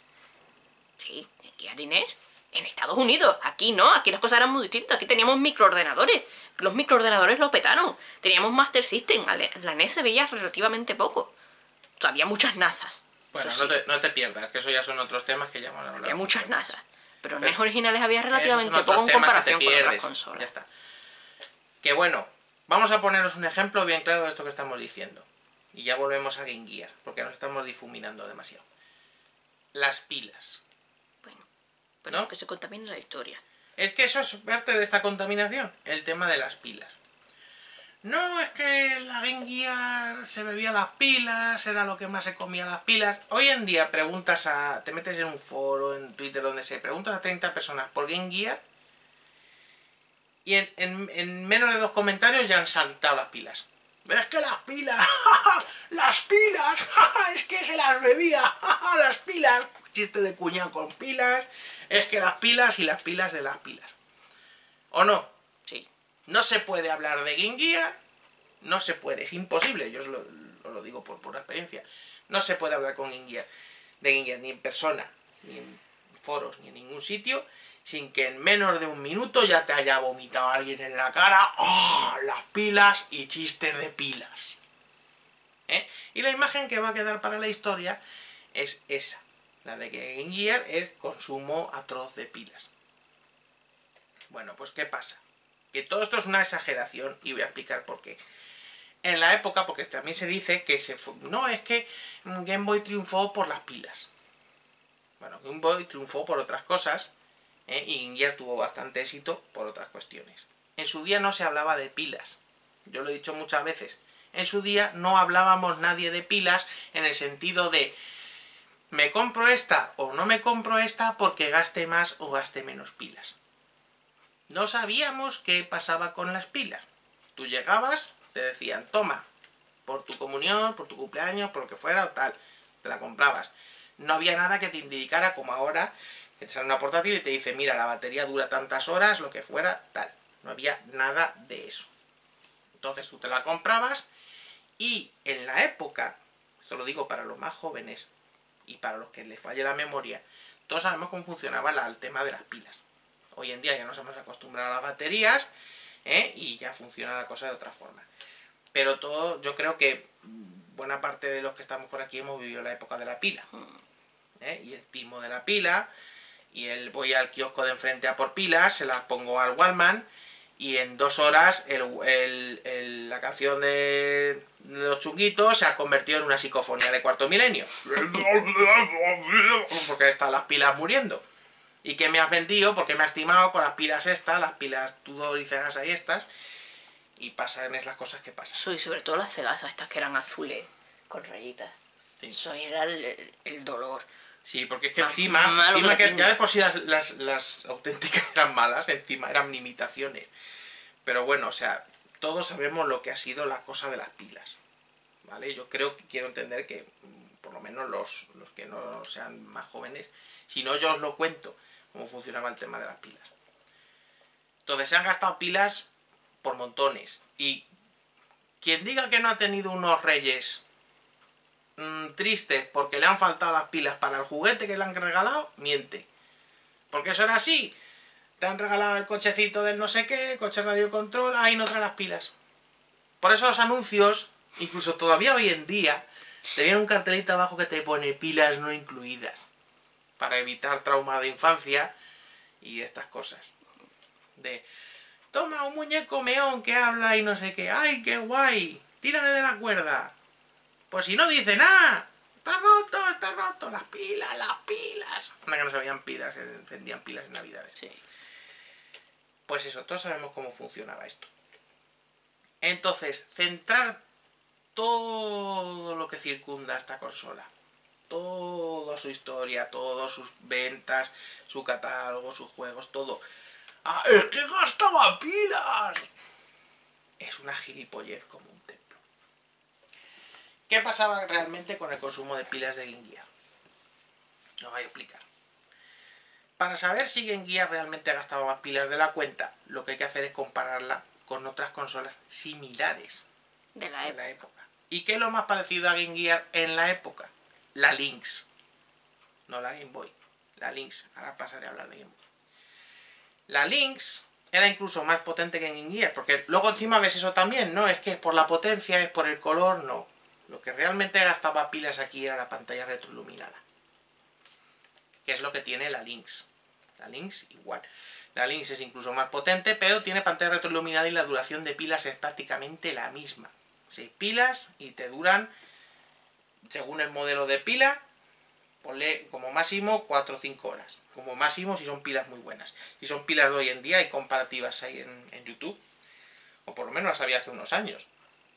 Comparaba la duración de Game Gear con la de 3DS cuando salió 3DS. Y con la Vita, creo. No sé si estaba... No, la Vita todavía no había salido. Era con 3DS, eh, comparaban varias consolas. Y Game Gear, con pilas de ahora, una Game Gear aguantó 7 horas y pico que ya son horas. ¿eh? Es bastante. Es bastante. Que en su día no aguantaba eso porque las pilas de entonces no eran las de ahora. Es que también está la diferencia, que eh, antiguamente comprábamos pilas normales. Y ahora la pila por defecto es la pila alcalina. Es lo que está explicando eso. Entonces, con unas pilas alcalinas buenas, en la época te podía durar eso unas 4 o 5 horas. Eh, y lo mismo con la Lynx. Si le metías unas pilas normales, pues a lo mejor en 2 horas o menos si ya era encima de timo, pues cuando ves a alguien que te dice "Es que las pilas le duraban 40 minutos. Claro, las cegasas falsas que habías comprado en el kiosco de al lado ¿eh? para metérselas. Las que a las dos horas el Wallman se convertía en una psicofonía, esas. Pues esas cosas son las que pasan. Y de ahí viene mucha leyenda, mucha habladuría y mucha leyenda urbana y luego pasa lo que pasa. ¿O no? Eso es, sí. Entonces, la duración de pilas de Gear era normal. ¿Qué es lo que no era normal? ¿Qué era lo que se salía de lo normal, de lo habitual, de la que- del consumo que tenían otras cosas? Pues esto era lo que se salía de lo normal. Esto que tengo aquí. La Game Boy. La Game Boy se salía de lo normal porque se diseñó específicamente... No, esta no es tu Game Boy, esta No, es mi no, Game Boy. La mía la tengo en mi casa. Esta es mía. pero es- La Game Boy se salía de lo normal porque se diseñó específicamente para que tuviera un consumo de pilas bajo ¿eh? y te la pudieras llevar a cualquier sitio y aprovechar al máximo esa portabilidad. Consolas como Game Gear o como Lynx no estaban pensadas para que tú fueras por la calle jugando a la Aunque fuesen portátiles. que tú fueras por la calle o te las metieras en el bolsillo. Estaban pensadas para que tuvieras un viaje en un coche, para que no tuvieras que darle el coñazo a tus padres con la tele, para que estuvieras así. ¿Eh? Entonces, en ese caso, le chupabas el adaptador de corriente y ni siquiera hacían falta pilas. Pero Game Boy se diseñó específicamente con el tamaño que te cabiera en el bolsillo, te cupiese en el bolsillo, ¿eh? y te la pudieras llevar por la calle. ¿Eh? Esto fue uno de los portentos de Game Boy y es una ventaja de Game Boy. ¿Eh? Esto es lo que no es normal. Es una ventaja de esta consola. Que aquí las pilas a lo mejor si son buenas te duran 30 horas. Y son 4 solo, no 6. Pero a mí esto las, las cegasas aquí esto me acuerdo que me duraban una una tarde. Las malas. Las cegasas chungas. Es que no Una tarde, entiendo, vamos, puedo decir 5 o 6 horas. no entiendo esa manía de quitarle mérito a Game Boy en algo en lo que tiene mérito, porque se diseñó específicamente así, para echarle mierda a la competencia. Cuando no es culpa de la competencia. Básicamente quieren hacer- convertir un, un mérito que se sale de la norma en el estándar. Exactamente. Cuando lo que, no el estándar. lo que se está pretendiendo, y se lleva años pretendiendo, es decir, esto es lo normal. Lo que gasta esto es lo normal. Y lo que gastaba una consola de la época portátil es lo normal. Y esto no. Esta era, esta era la rara, la que se bebía las pilas y fracasó por eso. Porque me lo invento. Y croquetas. Y gallinas. Y palabras random para inventarte historias. Que no. Que es así, esto es prodigio de Game Boy. Que claro que Game Boy mm, lo tenía a coste de muchas cosas. ¿eh? Pero el principal problema aquí es la pantalla retroiluminada. ¿Vale? Que dices, no, es que eran color, eran más potentes, esas cosas influyen, pero no tanto. No tanto. Lo que falla aquí es la pantalla retroiluminada. Todos lo sabemos, o sea, todos como has tenido una Game Boy, ¿cómo jugabas tú a la Game Boy? ¿Debajo de una lamparita? La que voy es la constante de mi miopía galopante. Pero ¿cómo, cómo, ¿cómo puedes jugar a la Game Boy? ¿Debajo de una lamparita? con luz? Sí, en la ventana, la lamparita, sin ver una mierda. ¿Cuántas veces, ¿Cuántas veces has usado una Game Boy debajo de las sábanas por la noche? Una vez, me acuerdo que fue para mí algo súper espectacular, venía en el círculo de lectura una lamparita de lectura de noche que te la colgabas aquí en la cabeza y era un flecito pequeñito. Pues con eso una vez intenté jugar con la luz apagada, no debajo de la manta, a la Game a la Game Boy que diga. Y lo tuve que dejar porque ni aún así se veía una mierda. Cualquiera que haya tenido la Game en su época, en su infancia, ¿eh? tiene, en algún momento seguramente lo haya hecho. A lo mejor no, pero vamos, la inmensa mayoría va a saber perfectamente esta escena que yo le voy a describir. De noche, cuando te han mandado a la cama, ¿eh? con la Gear, debajo de las mantas jugando. ¿Eh? Porque no se te ve desde fuera la luz y tú desde dentro ves con la luz de la pantalla de la Gear. Eso se podía hacer con la Game Gear, se podía hacer con la Lynx y no se podía hacer con la Game Boy. Era el precio a pagar por ese consumo de pilas. Que sí, que tenías que tener el adaptador de corriente enchufado. ¿Eh? O unas buenas pilas.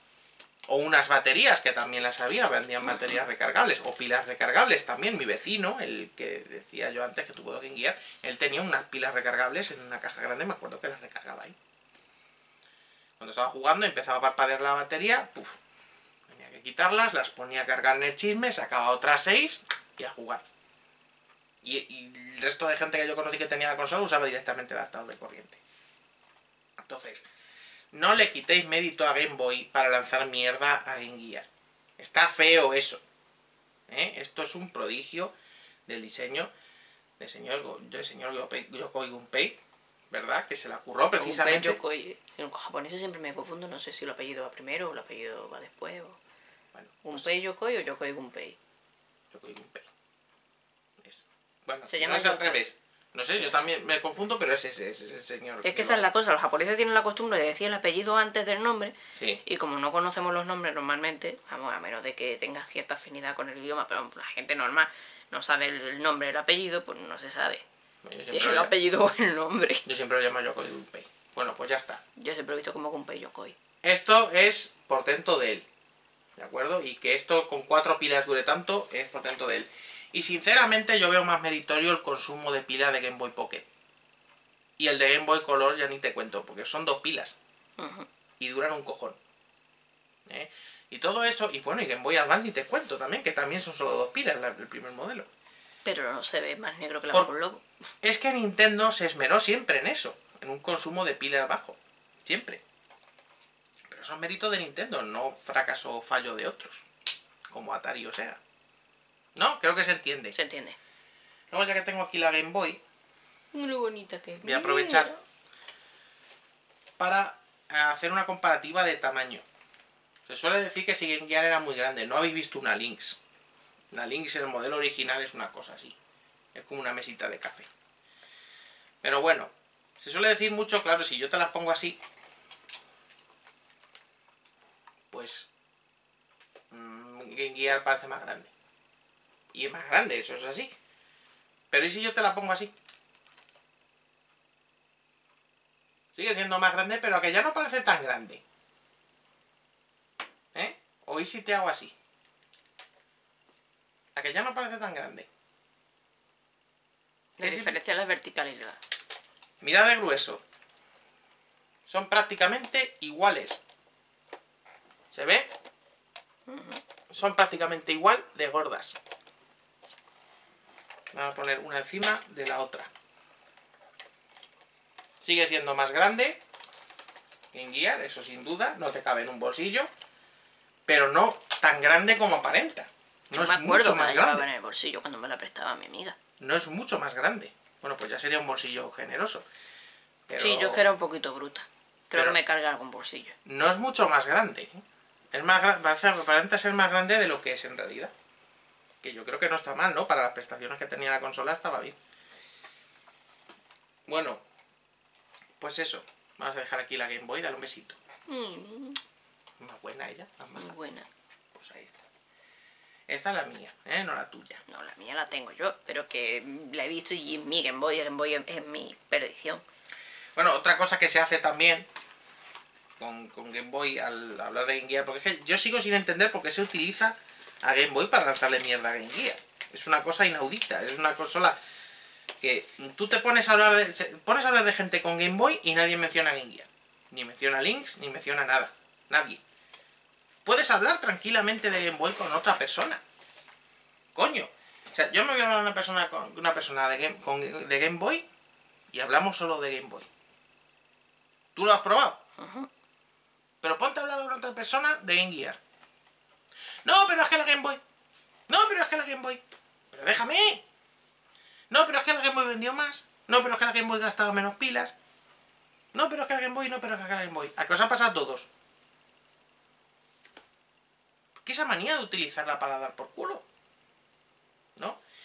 Y, por ejemplo, en el tema de, de, ventas, Game Gear vendió muy bien. Vendió bastante bien. En, en América tuvo éxito. Ya sabéis que América es una parte importante para tener éxito. Y Game Gear vendió bastante bien. Y aquí en Europa arrasó.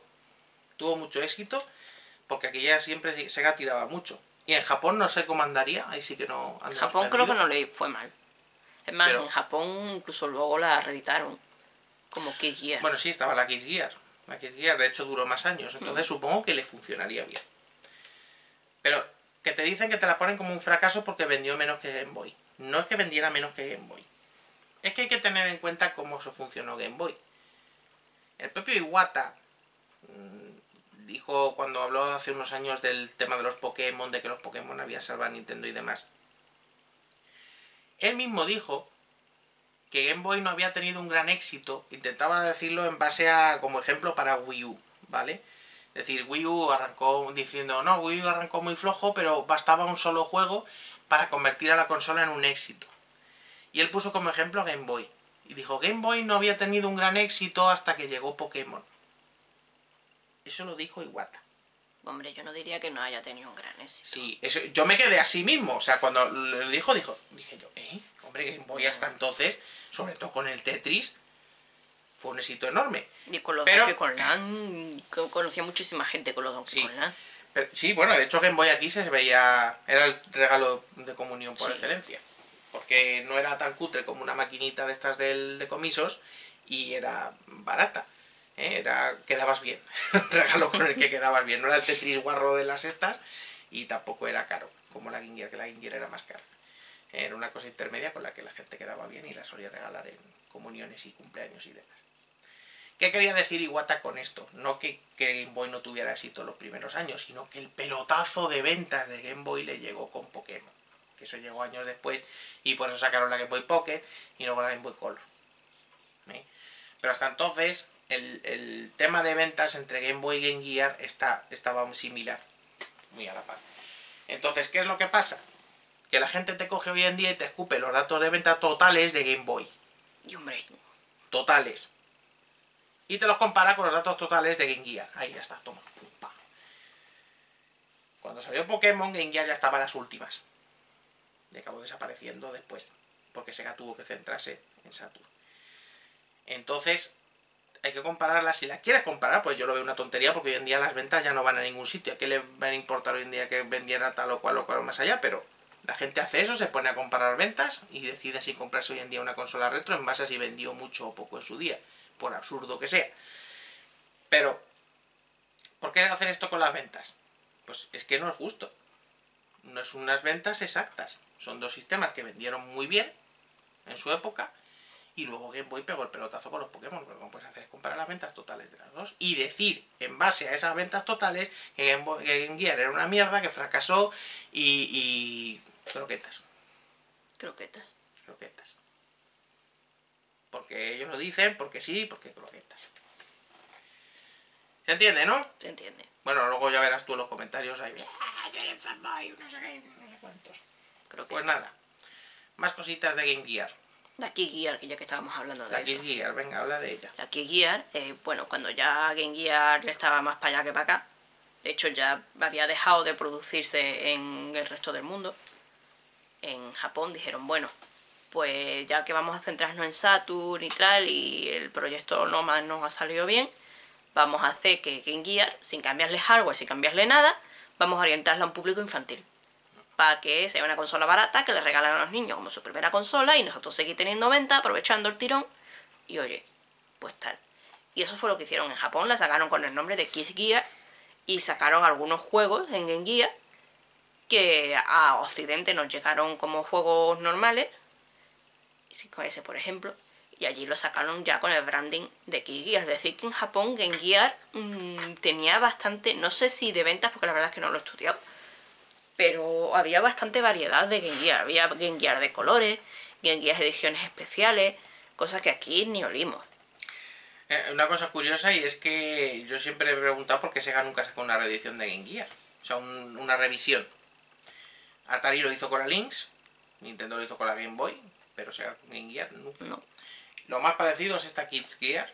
Que ya te digo que es igual, lo único que le cambias es el nombre. Y la carcasa por fuera es distinta. Sí, pero... La carcasa de la consola es distinta, pero por dentro es la misma. Pero es que en Japón la carcasa de la Game Gear la cambiaban a menudo. Enséñalo que sé que está deseando. No te creas, estoy explicándolo. Por ejemplo, el... ¿Te viene bien como ejemplo? Sí.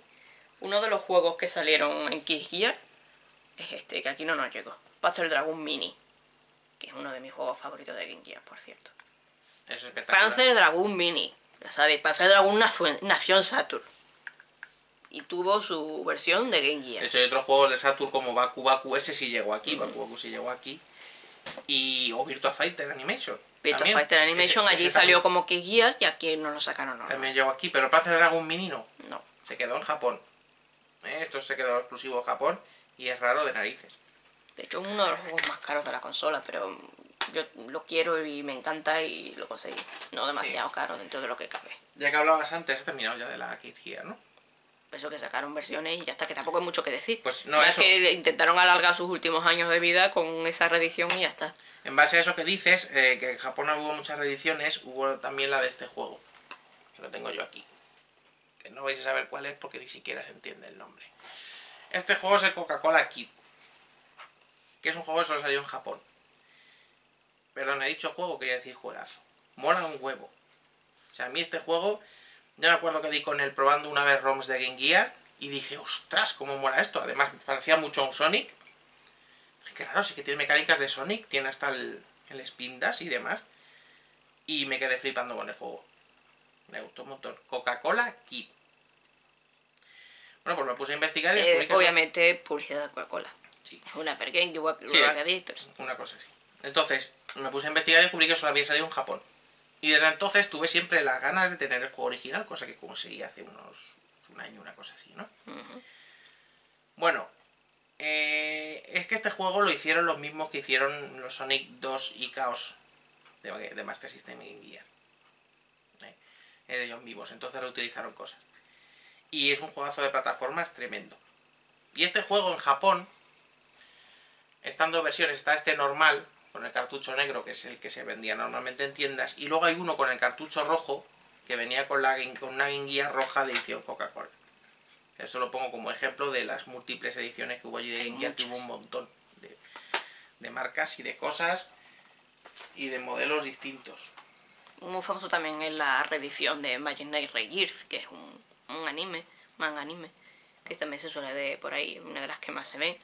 Se, vendían en tiendas en diferentes colores. Si recordáis, aquí en Europa, en España concretamente, nos llegaron Game Boy de diferentes colores. Pongo ejemplo Game Boy porque aquí nos llegaron. Estaba la normal, que era la blanca, pero después sacaron más o menos sobre el 95 o 96, puede ser. Hmm. Un poco antes de sacar la Game Boy Pocket, sacaron Game Boys tochas de colores. La había verde, la había amarilla, Negra. la había roja, la había negra, la había azul. Igual, tal y como es esta, pero de colores. Bueno, pues Game Gear también había. Game Gear, la que nos llegó aquí es la negra, que es la estándar. Pero en Japón, en Japón la hay roja, la hay azul, la hay verde, la hay amarilla, la hay de muchos colores. Verde no sé si hay. ¿No? Yo, yo lo he dicho por decir. Creo que verde no hay. Azul sí, sí hay seguro. Yo Roja quiero- también. algún día Amarilla creo que blanca me parece que también. hay. Sí, eso es lo que estaba intentando decir. Yo tengo el sueño de algún día tener la blanca. Me gusta la blanca. Pero bueno. Eh, ahora que digo lo de la blanca, me he acordado porque he asociado con otra cosa. Ahora se está haciendo algo muy curioso con Game Gear, que es sacar una especie de adaptadores de juegos de MSX. Hmm. No sé si lo habréis visto por ahí. ¿Cómo es posible eso? ¿Cómo es posible que un juego de MSX funcione no solo en la Game Gear, sino en la Master System? Porque a nivel de hardware son prácticamente iguales. ¿De que Game Gear y Master System está diciendo? ¿O MSX. Ah, vale. Bueno, no, MSX realmente está tirando con la retrocompatibilidad de SG-1000, pero bueno. Sí, es que es compatible con SG-1000. Y SG-1000, Master System, y por lo tanto Game Gear están basadas en SG-1000. Entonces, es el mismo cacharro. Cambian pequeñas cositas y estos adaptadores las llevan y con eso funciona. De Seguro. hecho, hay juegos piratas, sobre todo coreanos, de Master System, que son por de, de MSX tal cual. Juego de la ROM de MSX metía a capón y se lo traga. Pero fijaros, mira, los que seáis habituales del MSX, me imagino poder jugar a juegos de MSX en Gear. De hecho, están adaptando ROMs de juegos de MSX para que corran directamente aquí. Supongo que tendrán que a lo mejor que adaptar los colores o algo así. Sí, como algo así como lo de Master System. de Master, una cosa así. Es porque por lo visto el hardware del MSX1 es muy muy similar, prácticamente igual al de SG-1000. Y Master System tiene retrocompatibilidad con SG-1000 y Game Gear porque es igual. Lo único que cambia son las paletas de colores con respecto a Master System. Utiliza el Z80 igual, el mismo hardware que Master System. pues lo mismo. Ahora que lo pienso, el- otra diferencia que hay entre Master System y Game Gear es que Master System mm, tiene sonido mono Sí. y Game Gear hace estéreo. Sí, Pequeña diferencia. sí, porque tiene salida de cascos, Esto. entonces utiliza sonido estéreo. Pero bueno, para que luego diga la gente que el hardware de Master System y, y de Game Gear era una mierda. ¿eh? Lo del MSX, o sea, es un MSX en consola. Incluso el, el Amstrad, mm, por dentro, en cuestiones de hardware, es muy al estilo. También utiliza componentes similares. O sea, para que veáis luego que gente que se pone a lanzar mierda al hardware simplemente porque es de la compañía Gapitez en vez de la compañía eh, Menganitez y luego pasa lo que pasa. Pero bueno, más cositas. Bueno, voy a, Pues no me ocurre ahora mientras mismo. te va ocurriendo algo, ir Ah, sí, el último juego que salió en Game Gear, en Occidente, creo que en Japón también. El último juego de la historia de Game Gear es Lost World. No, en... Sí, en general, pero solo salió en América. Podía haberlo traído porque lo ¿No te lo tenemos, has traído? pero no me lo he traído. Pensaba que te lo habías traído. Pues no, no me lo he Ay, traído. hombre. Vamos, luego nos enseñan el vídeo de colección esta, tenemos el cartuchito solo. Dice el de Lost World, el de la segunda película de Jurassic Park. Ese es el último juego oficialmente lanzado por, sin contar texto y cosas así, lanzado por Sega. Y salió en América. Fue el último. Y es brutal a nivel Sí. técnico, mola un montón. A nivel técnico es espectacular. La verdad que pasada. Bueno, voy a enseñar por aquí ya algunas cositas, ¿no? Que Voy a enseñaros una curiosidad. El TV Tuner, el adaptador de tele, Ya tardabas en enseñar eso. De Game Gear. ¿eh? Qué maravilla esto en su día. Me acuerdo que mi tío quería comprarme mi Game Gear cuando la pillé, para... pero estoy hablando ya del 90 y muchos o 2000 o por ahí. Vino un día emperrado en comprarme la Game Gear con esto, porque quería utilizarlo como tele portátil. O sea, ya en esas épocas, ¿eh? O sea, imaginaos a principios de los 90, que sí que el cacharrín este no era barato. Un amigo mío lo tenía, uno de los dos que siempre estaban conmigo que comento, lo tenía. De hecho, este era este. Este porque se lo compré yo a él. Años después. Era este mismo. Y esto era alucinante. O sea, imagínate una tele portátil que te puedes meter en la cama por la noche, allí bajo las sábanas, y ponerte a ver la tele hasta las tantas. Sin que te digan a tus padres y sin que te digan no puedes ver esa película que es para mayores. ¿eh? Poder ver Te hace lo que te dé la gana. la tele donde quieras. Una pasada que luego trae este pedazo de antena aquí enorme. Que esta está rota, por cierto, ya se la acabo rompiendo porque estaba doblada. Mira, cuando me venido estaba doblada. Pero es un antenón enorme. ¿eh? Parecías un marciano allí jugando con esto, con la antena esta gigante allí sacada. Pero bueno, no hacía falta sacarla. Normalmente se veía bien sin ella. Pero oye, si estabas lejos de recepción o lo que sea, en el campo o algo así, pues se la sacabas. ¿eh? Y diréis, bueno, este chisme ya hoy en día no sirve para nada. Porque con la tele digital hoy en día, tele no. con la tele digital hoy en día no sirve para nada ya. De hecho ha bajado bastante de precio, antes era una rareza. Ha bajado bastante de precio porque la gente ya dice, pues eso ya no sirve para nada, lo tengo ahí para hacer bonito y se acabó. Sí que sirve, que sirve. Os basta con tener esto. No sé si lo veis. Eso es un RCA, son Hembra. hembras RCA. Y ahí hay un mini jack. Esto lo podéis comprar en tiendas de electrónica y similares. Y esto va a hacer que vuestro TV Tuner vuelva a servir para algo. ¿Cómo? Pues mira, aquí arriba del TV Tuner, aquí, en este lado, hay un mini jack, una entrada de mini jack. Que no es para los cascos, porque el de la de cascos ya va en la consola. Entonces tú metes esto aquí. ¿Lo veis? Tu mini jack ahí y ya tienes entrada de RCA en tu Game Gear. Mire, pues mete lo que quieras. Le puedes meter lo que quieras, un TDT para ver la tele digital, de estos pequeñitos que hay, por ejemplo, que se conectan, son así una cajita pequeña. Eh, le puedes meter cualquier consola. Yo he jugado a la Dreamcast en la Game Gear, está jugando a Sonic Adventure en, en la Game Gear. Cualquier cosa que tenga entrada de RCA, de estas, de colores, roja, blanca y amarilla, se lo puedes meter a la Game Gear. Pero ojo, al jugar Sonic Adventure no podías utilizar los botones de la Game Gear. Claro, evidentemente. Hay que Tienes usar el mando, o sea, la Game Gear queda como pantalla, como tele. Se ve como se ve, pero es, es lo que hay. Se puede usarlo todavía para algo. Que aunque sea para fricada, mira, cuando vengan los amigos a casa, le decís, mira, mira, cómo se ve la guía.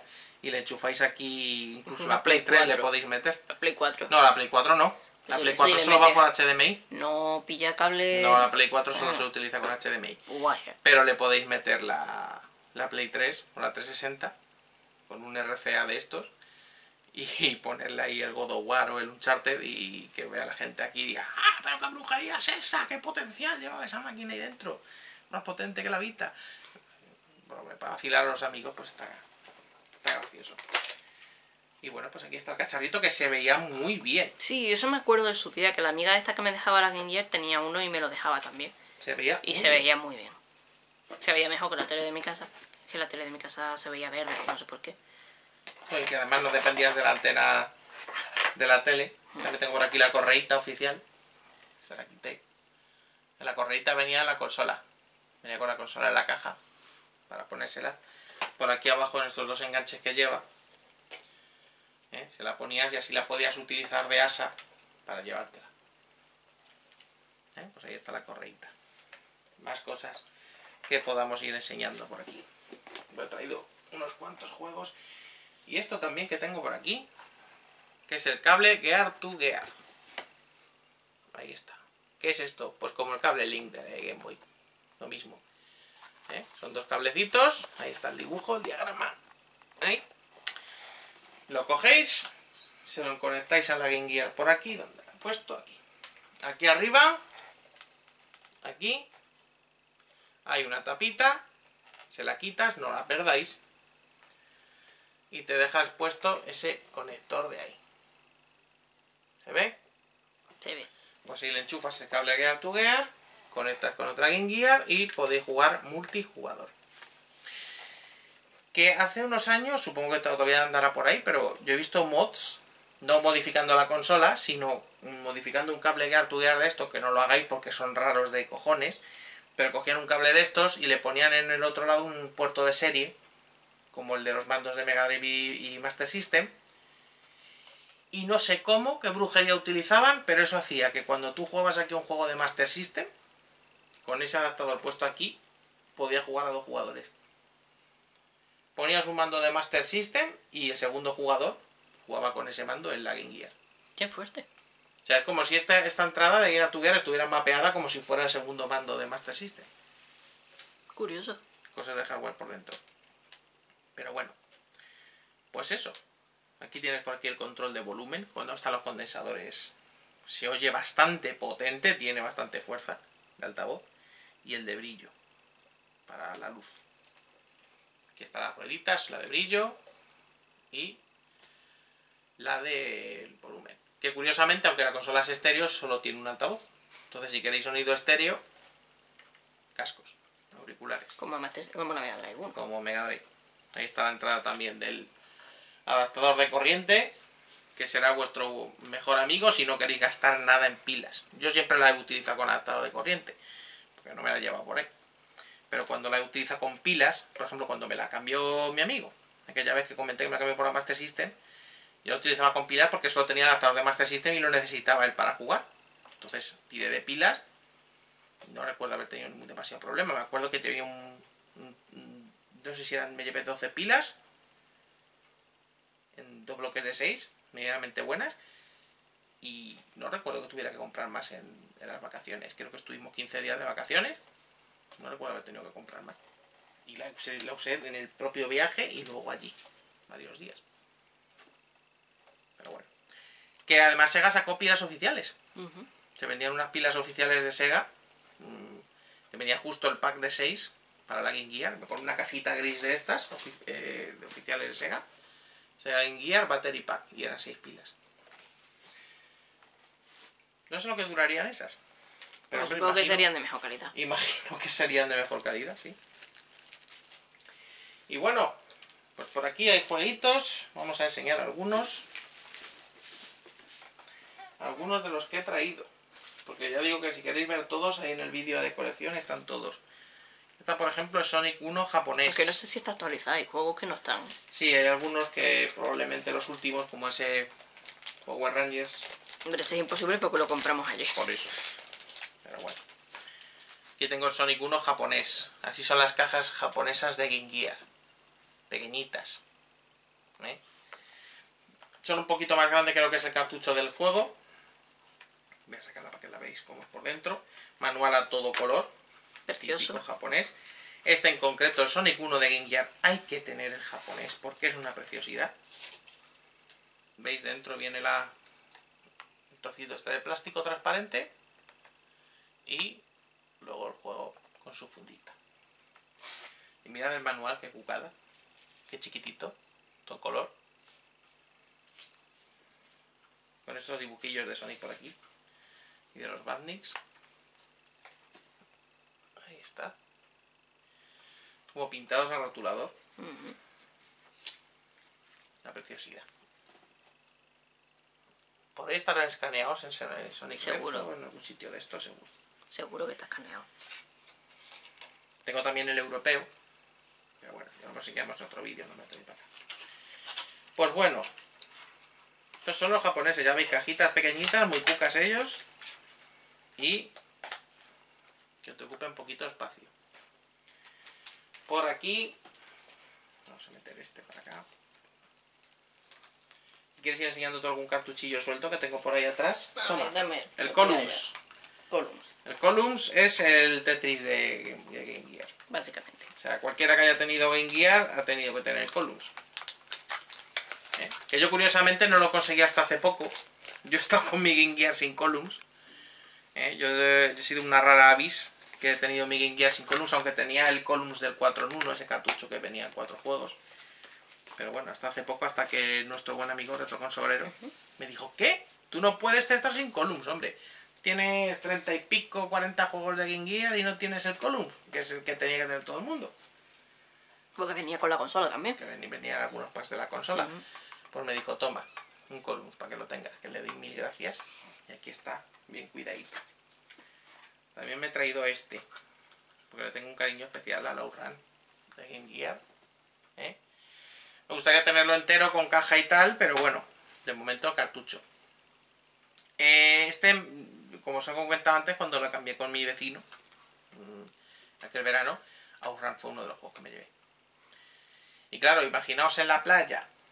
La playa, que es donde he contado alguna vez que es donde jugaba mayoritariamente al arcade de Outrun, sobre todo, al, al- sobre todo al grande, al del mueble grande, que te sentabas en plan como el de Senmu. Pues claro, me bajaba al arcade, ahí cuando se me acababa la moneda subía al apartamento a jugar al Outrun de Game Gear. Qué bonito. Qué verano aquel. Pues bueno, que es una maravilla la Outrun de a mí me encanta, la verdad es una conversión muy buena y lo, lo mejor que tiene es el modo para dos jugadores. Conectados Game Gear aquí, que uno va con el testa rosa rojo y el otro con un testa rosa azul, y jugar en modo versus ahí, es una pasada. Por cierto, a ver si te traes tu cartucho de Outrun y lo probamos. Pues sí, ya a ver tenemos- si algún día me acuerdo y me lo traigo. y así estrenamos el cable, el Gear to Gear. ¿Eh? Porque claro, hace falta dos cartuchos iguales y dos consolas y el cable. Bueno, pues ahí está. Más cositas. Ristar lo tengo también por aquí. ¿Por qué, por qué- por qué me he traído yo el Ristar? Pues como un ejemplo de juegos que estaban también en Mega Drive. Pero que la gente ignoraba o ignorado durante años la versión de Game Gear. No, pues que. ¡Ay, Ristar, qué bueno! ¡Qué juegazo de Mega Drive! ¿Habéis probado el de Game Gear? Ah, estaba en Game Gear, ni lo sabía. Y, y es un juego bastante bueno. en Game Esto Gear. es una maravilla. En Game Gear es una maravilla. Técnicamente es brutal, incluso en algunas cosas supera el de Mega Drive. Y por ejemplo, puedes ir. Hay un, un ítem en forma de estrellitas doradas que puedes ir recogiendo como anillos, como si fueran anillos de Sonic, por los niveles. En plan acumulativo. Y eso en el de Mega Drive no está. Tiene cosas que ya digo que no está el de Mega Drive. Y a nivel técnico es brutal para la consola esta. ¿El es tempo lo tienes ahí? El tempo no me lo he traído. Vale. No, sé, no sé si está allí, pero No sé si está ahí o lo tengo en casa. Es mío. Tempo es un juego no es exclusivo de, de Game Gear, pero quizá la versión más accesible es la de Game Gear, Tempo Junior, que es alucinante. Es una mascotilla que hizo Sega, que no tuvo demasiado éxito, que es así como un mosquitito. Que salió en 32X también. Salió en 32X y en Saturn. Y es un juego, un plataforma muy chulo, ambientado en mundos musicales y tal, Está muy bien. Yo lo recomiendo mucho. Sobre todo la versión de 32X es muy impresionante. Pero la de, lo de Game Gear es muy buena también. Muy disfrutable. Sí. Game Gear se llama Tempo Junior y en las otras son simplemente Tempo. También he traído este como ejemplo de que se dice muchas veces de no, es que el juego en Master System y Game Gear es igual. Fantasy Zone. Y dirás, no, pues es el de Master System. De hecho, incluso he visto veces que te, te ponen Fantasy Zone. Te ponen todas las versiones que hay de Fantasy Zone, de Master System, el de arcade, el de PC Engine y tal, y ponen el de Game Gear. ¿Por qué? Porque se llama Fantasy Zone secas. Esto no es Fantasy Zone, es un juego distinto. ¿Eh? Este es el Fantasy Zone Gear. Fantasy Zone Gear. Pasa que en el cartucho no pusieron el Gear. Pero la pantalla de presentación te lo pone Fantasy Zone Gear. Igual que el de Mega Drive tampoco es el Fantasy Zone original, es el Super Fantasy Zone. Son juegos distintos. Tienen otra trama y otro rollo. Son juegos completamente diferentes. ¿eh? Entonces, aquí es que ni siquiera que sea el mismo juego que cambie el diseño, como pasa, por ejemplo, yo que sé, con Streets of Rage. El Streets of Rage de Game Gear y el de Master System son radicalmente distintos. Pero son, es el primer Streets of Rage. Aquí ni siquiera eso. Es un juego totalmente distinto. ¿eh? La secuela es más distinta, pero la gente no suele tenerla en cuenta. Que además está especialmente adaptado a Game Gear y es una maravilla. Esto es una pasada. Esto es un juego que si tenéis Game Gear hay que tenerlo aquí. Fantasy Zone. Que por cierto, como curiosidad, he traído esto también que lo conseguimos hace poco. Que nunca lo habíamos visto. Lo conocíamos, se llama Kinetic Connection. Nunca habíamos oído hablar de este juego, no teníamos ni pajolera de idea de él. ¿verdad? De hecho, nos ha costado encontrar cosas sobre él por ahí. Información en internet, muy, muy, muy, muy, muy poca. ¿Qué juego es este? Pues es un juego de Sega que solo salió en Japón. Y bueno, en realidad es una conversión hecha de Sega, de, otro título. O sea, la, reprogramación, la versión la hizo Sega. Sí, porque eh, realmente Kinetic Connection ha salido en un montón de plataformas. Sí. No solo y esta versión en concreto de Game Gear la porteó Sega. Es un jueguecito muy sencillito, estos de, de típico tipo puzzle por piezas, así por cuadrados, y tienes que ir moviendo las piezas para formar un puzzle. Es muy sencillito. Pero lo he sacado como curiosidad porque sale Opa Opa, protagonista de Fantasy Zone. Entonces tú te pones a buscar la historia de Fantasy Zone, del personaje de Opa Opa, y nunca sale esto. Yo nunca he encontrado nada de esto. Y digo, coño, pues si sale aquí Opa Opa. Es uno de los puzzles, ¿no? Y es un cameo, sí. Ahí le tenéis, no creo que, no creo que se vea. Pero la pegatina se ve. Eh, ahí está Opa Opa. La navecita de Fantasy Zone. Bueno, pues para que veáis que en guiar hay muchas cosas ocultas que no se suele hablar de ellas. Eh, hay rarezas. Y bueno, aquí he traído algunos más con caja. He traído, por ejemplo, el Micro Machines, que lo he traído por una sencilla razón. Que el Micro Machines de Game es la leche. Pues tiene una particularidad bastante curiosa.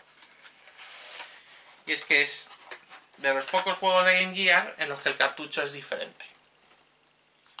¿Veis lo raro que es? Porque es de Codemasters. Entonces los juegos de Codemasters de Game Gear, como este, el Micro Machines 2, el Fantasy Grizzly, todos estos son de cartuchos distintos. Mirad cómo queda una vez metido en la consola. Cómo sobresale. Pero queda guay. Sí, queda muy guay que sobresale lo que es el logo y por detrás, mira. Pero bueno, esto es, ya digo, de los poquísimos juegos de Game Gear que no utilizan los cartuchos oficiales, o sea, el diseño de cartucho normal de Game Gear. Que en Master System también, lo enseñamos en el vídeo de Master System. Master System el Micro Machines también utiliza un cartucho distinto de lo habitual. Cosas de Codemaster. Las cositas por aquí que hablábamos antes del Legend of Illusion.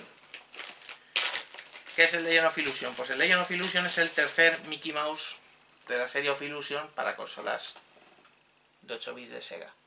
Está Castle of Illusion, ya sabéis que el Castle of Illusion de 8 bits es muy distinto del de Mega Drive. Además es el más conocido de todos. Mm. De hecho yo lo prefiero al de Mega Drive, aunque me pegue alguien, pero bueno. Luego está el Land of Illusion, que eso es una obra maestra, lo siento, pero es para mí es de lo mejor de todo el catálogo de Master Game Gear. Y luego está este, el Legend of Illusion, que es el tercero. que este no tiene port de Master System en Occidente. Bueno, en, En- Brasil sí. En Brasil, este es uno de los que decíamos antes de Tectoy, que eh, ahora te están vendiendo repros, pero que no. No, ese sí, este estoy de verdad. Sí, este sí, está, este sí salió en Tectoy de verdad, Legend of Illusion. Pero que hoy en día te venden repros del europeo. Y te las hacen pasar como si fueran oficiales. Tened cuidado. Eh, Porque es el de, es el de la ROM del Detectoy metida en, un, en una repro de un europeo. Bueno, pues el juego está bien. Yo personalmente prefiero los anteriores, los dos anteriores, pero está bastante bien. Tengo curiosidad porque yo siempre lo había querido tener. Hasta ahora no había podido jugarlo. Y lo conseguimos hace un año, una cosa así. Más o menos. Quizá un poco más. Quizá un poco menos, ¿no? No sé. Yo creo que menos de un año. Y además así completito y tal. Que fue una alegría tremenda porque ya digo que era el de los tres que me faltaba por jugarme. Y me lo jugué directamente. El mismo día que lo compramos, ¿te acuerdas? Llegué, cogí la Game Gear, metí el cartucho y me lo pasé. El tirón en la Game. Pues bueno, aquí está. Está bien, está muy bien como juego de plataformas, pero bueno, quizás no sea tan grandioso como los anteriores. Que no son. Es una rareza, ¿eh? Este ya cuesta encontrarlo, pero si me ha costado tantos años encontrarlos por algo. Y bueno, fíjate, encima completo. No está en perfecto estado, pero eso a nosotros nos da igual. ¿Para qué? Si para jugar no vale. Sí, de hecho me hubiera conformado con el cartucho suelto, pero ya lo encontramos así. También tengo por aquí el Dynamic Heady. Este lo tengo con un doble precinto, pero se puede abrir cuando quiera. ¿Por qué lo tengo con un doble precinto? Porque ya tenía el cartucho suelto. Yo. Eh, y entonces cuando quiero jugar uso el cartucho suelto. Este lo podemos conseguir a muy buen precio así completo y oye, a mí Dynamic Heady me puede muchísimo. Muchísimo. Entonces dije esto hay que tenerlo. Completo y con nuevecito. En perfecto estado. Que además esta versión está muy bien. Está bastante bien. Ahora nos queda conseguir el de Master System. Que es de Tectoy. El Dynamic Heady de, de Master Eso es System. salió. Tectoy.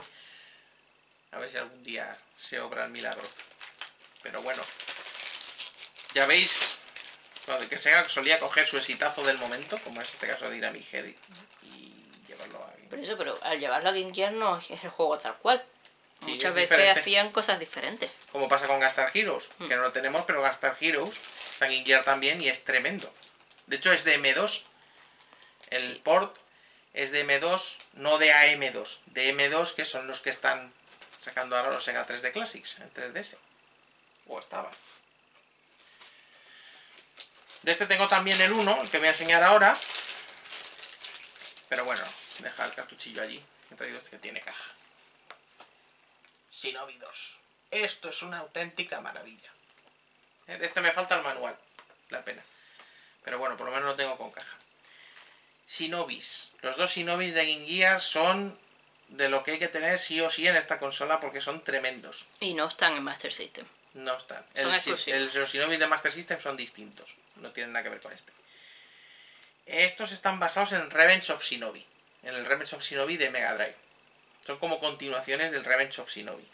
¿eh? O al estilo de Shinobi 3. Y son espectaculares. Espectaculares a nivel técnico y tal. Incluso el primero utiliza directamente sprites del Revenge of Shinobi. Rem- remixea músicas adaptadas por el propio Yuzo Koshiro.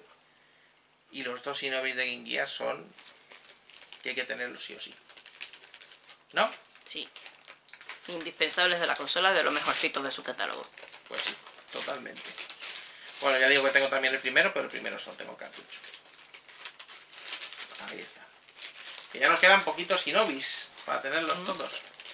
Falta el de Saturn, Bueno, espérate, es eh, ya. Shinobi X de Saturn. Y el de Game Boy. Y el de Game Boy Advance. El Revenge of Shinobi de Game Boy Advance. Que no tiene nada que ver con el Revenge of Shinobi de Mega Drive. No sé por qué lo llamaron igual. Pero bueno, eso lo tuve yo en, en mis manos cuando salió y ahora es una rareza. Pero el juego eh, no tiene nada que ver con el de Mega. Es No, de hecho es flojete. flojete, flojete, flojete. Otro más. Mortal Kombat 2. Además el americano. ¿Mm? No Mayesco, americano. No, no, este es- no es, no, no Mayesco, no Redito de estos. Lo digo porque cuando los enseño a lo mejor una gente puede pensar... No, no, este ¿Es sí morado? Es... como los de Mayesco, no. No, Eso es porque es- es americano. Este es americano original. ¿eh? Eh, este fue el último Mortal Kombat de Game Gear que conseguí, porque conseguí antes el 1 y el 3. Increíble, porque el 3 es raro. Increíble que, yo lo dije a ella, el 3 lo encontramos por ahí en una tienda de segunda mano, el cartucho suelto, pero digo, madre mía, que he conseguido antes el Mortal Kombat 3 de Game Gear que el 2. ¿Por qué? Porque el 3 es ultra raro. Solo salió en Europa, aquí en Europa, incluso aquí en Europa es difícil de conseguir. ¿eh? Porque encima la gente se lo lleva de fuera, porque es una rareza de aquí. Bueno, pues incluso aquí es difícil de conseguir. Mortal Kombat 3 en Game Gear, que por eso tengo el cartucho. Y este, bueno, pues lo tengo entero. Mortal Kombat 2. Cuando hagamos vídeo de Mortal Kombat 2, Lo sacaremos. un futuro, pues saldrá este. Quizá lo mejor sea el siguiente, ¿no? Quizá. Quizá. No lo tenemos todavía decidido. Que por cierto, después de este vídeo, pues ya subirás tú la nueva encuesta Hombre, para claro. decidir cuál será la próxima consola de la que hablemos. Sí. Que Ya ves si votáis por algo que no sea de Sega. Yo estoy tentado, porque lo lógico sería meter Dreamcast, que es la única de Sega que queda. De la que queda que, queda que hablemos, porque SG-1000 por desgracia no la tenemos de momento, pero bueno. Estoy tentado de, de no poner Dreamcast porque es que la vais a votar. Va a salir Dreamcast otra vez. ¿Eh? Otra vez una consola de Sega. Pero bueno, ¿qué hacemos? ¿La ponemos? Sí, bueno. Por Tampoco es que si la gente lo quiere, lo quiere. Bueno, sí, nosotros damos lo que... Es lo que tocaba, ¿no? Poner otra de Sega en ese hueco, pues. Mira, pues si ya es la última de Sega, hablaremos de Dreamcast y ya podremos hablar de otras. Que no es que no queramos hablar de Dreamcast, ¿eh? Ni mucho menos. Lo que pasa es que llevamos Bueno. muchas consolas de Sega seguidas. Ese es el problema, es que llevamos... Yo creo que... Mega Drive. seis vídeos. Game Gear. Y Master también decimos, lo que Sí, pero del hicimos hace más tiempo. Bueno, pues nada. Pondremos Game Gear en la encuesta. Entonces serán Game Gear, Super Nintendo, Play 2 y Xbox. 2 y Xbox. Ahí votáis en la encuesta de Twitter la que queráis. Ya sabemos que va a salir Dreamcast, pero que lo vamos a hacer. Bueno, pues ahí está. Otro joyita que tengo por aquí.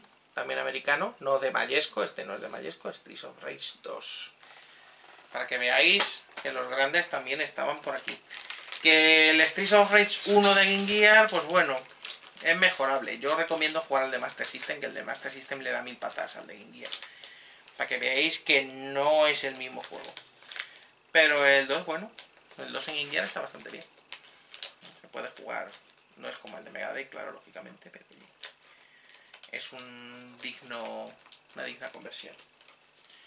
Bueno, de juegos no me he traído nada más por aquí. Si tú quieres comentar de alguno Es que que no hayamos sacado, No, pues no me quiero meter a ponerme a hablar de los Sony, ni.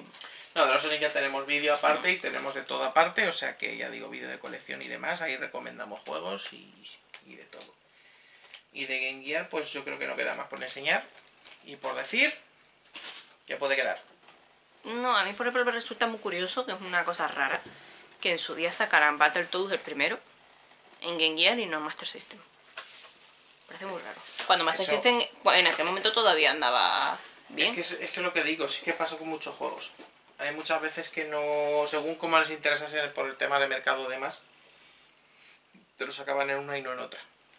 Hay juegos, el Asteris, el primer Asteris de Master System,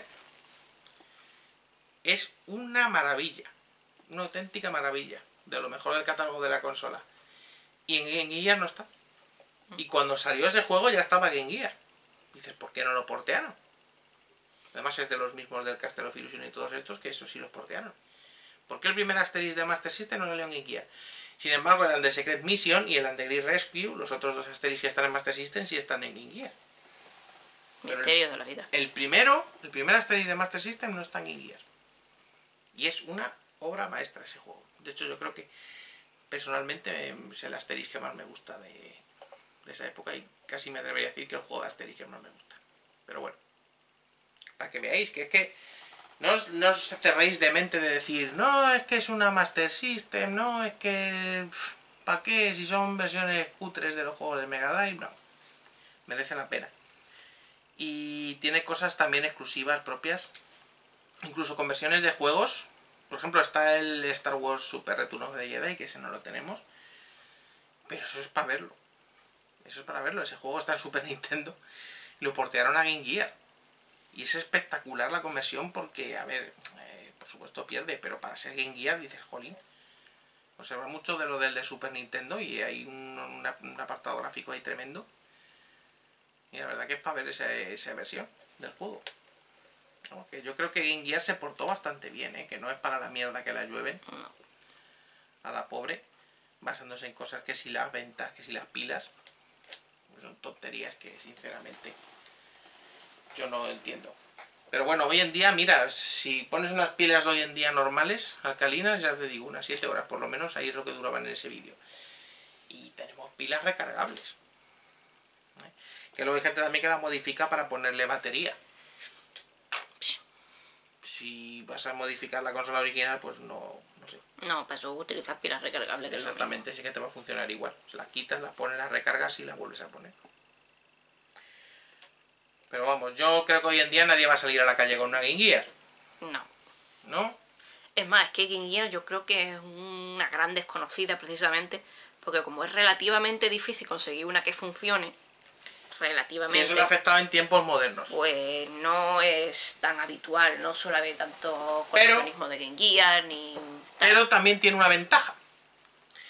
Y es que es más fácil conseguir sus juegos. también. Porque hay más juegos que consolas.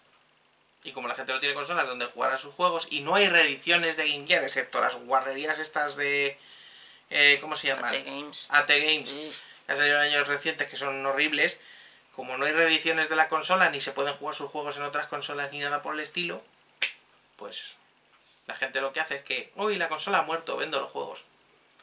Entonces juegos siempre que sean así cartuchos sueltos, no, excepto cosas muy, muy concretas, como algunas que hemos dicho aquí, y aún así no son tan caras, como Mortal Kombat 3 o el de los World o cosas así. Los World no era caro, lo que pasa es que es raro.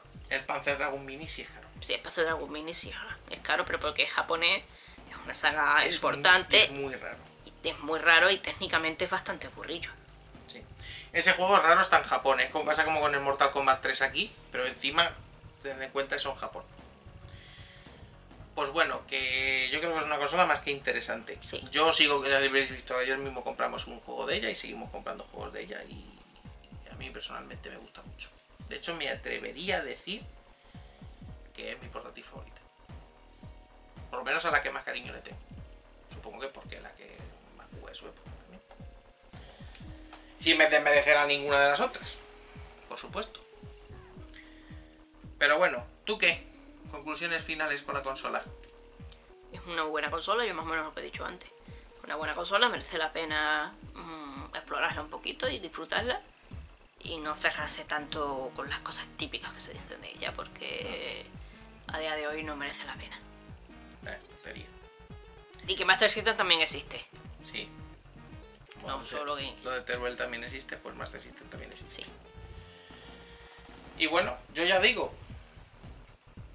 Aunque solo fuera como una Master System portátil, ya merecería la pena. Para mí ya sería la hostia, como la Nomad con la Mega Drive. Pero es que Game Gear es una consola aparte, su propio catálogo, grandes maravillas, grandes cosas. Es una consola muy chula con la que puedes hacer muchas cosas distintas. Y podías ya en su día. Que eso de ver la tele, poder jugar en penumbras, las cosas estaban muy bien.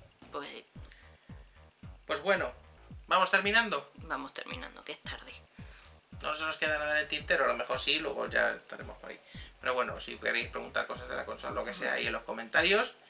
Si venís a decir tonterías y trolear, pues es que. Es que no sé, de verdad. Buscad ayuda. No. Buscad ayuda, Insisto que esto no es un pijama, es una camiseta. en serio. Pijama al osito, que no lo voy a coger ahora, pero esto es una camiseta. Buscad ayuda profesional que os hace falta. Y lo demás, todo lo demás, las personas normales que están bien de la cabeza, esas podéis decir lo que queráis ahí, preguntar lo que queráis y comentar y cualquier cosa. Sugerir vídeos o lo que sea. Bien, ¿no? Bien, Pues nada más. nada más. Eh, ¿Despides tú el vídeo? Sí. Bueno, y eso, que espero que os haya gustado. Si os ha gustado, ya sabéis, mano arriba. Si no os ha gustado, pues nada. Y ahí estar atento a la semana al canal que ahora vamos subiendo vídeos pequeños. Bueno, pero eso sí es una cosa que quería decir. Yo no tengo seguro de si yo sé que esta semana tocaría otra vez o top musical, que lo estoy subiendo todos los miércoles o jueves según me se me dé tiempo. Quizá esta semana no lo haga porque estoy apretado un poquito con temas de mi vida personal de trabajo y tal y no sé si me da tiempo de montarlo. Pero bueno, lo voy a intentar decir, no, por la semana que viene, que tampoco pasa nada. Como que, bueno, se pueda. Pues ya está, eso. pues ya está, ¿no? Pues bueno, nos vemos en siguientes vídeos y hasta la próxima.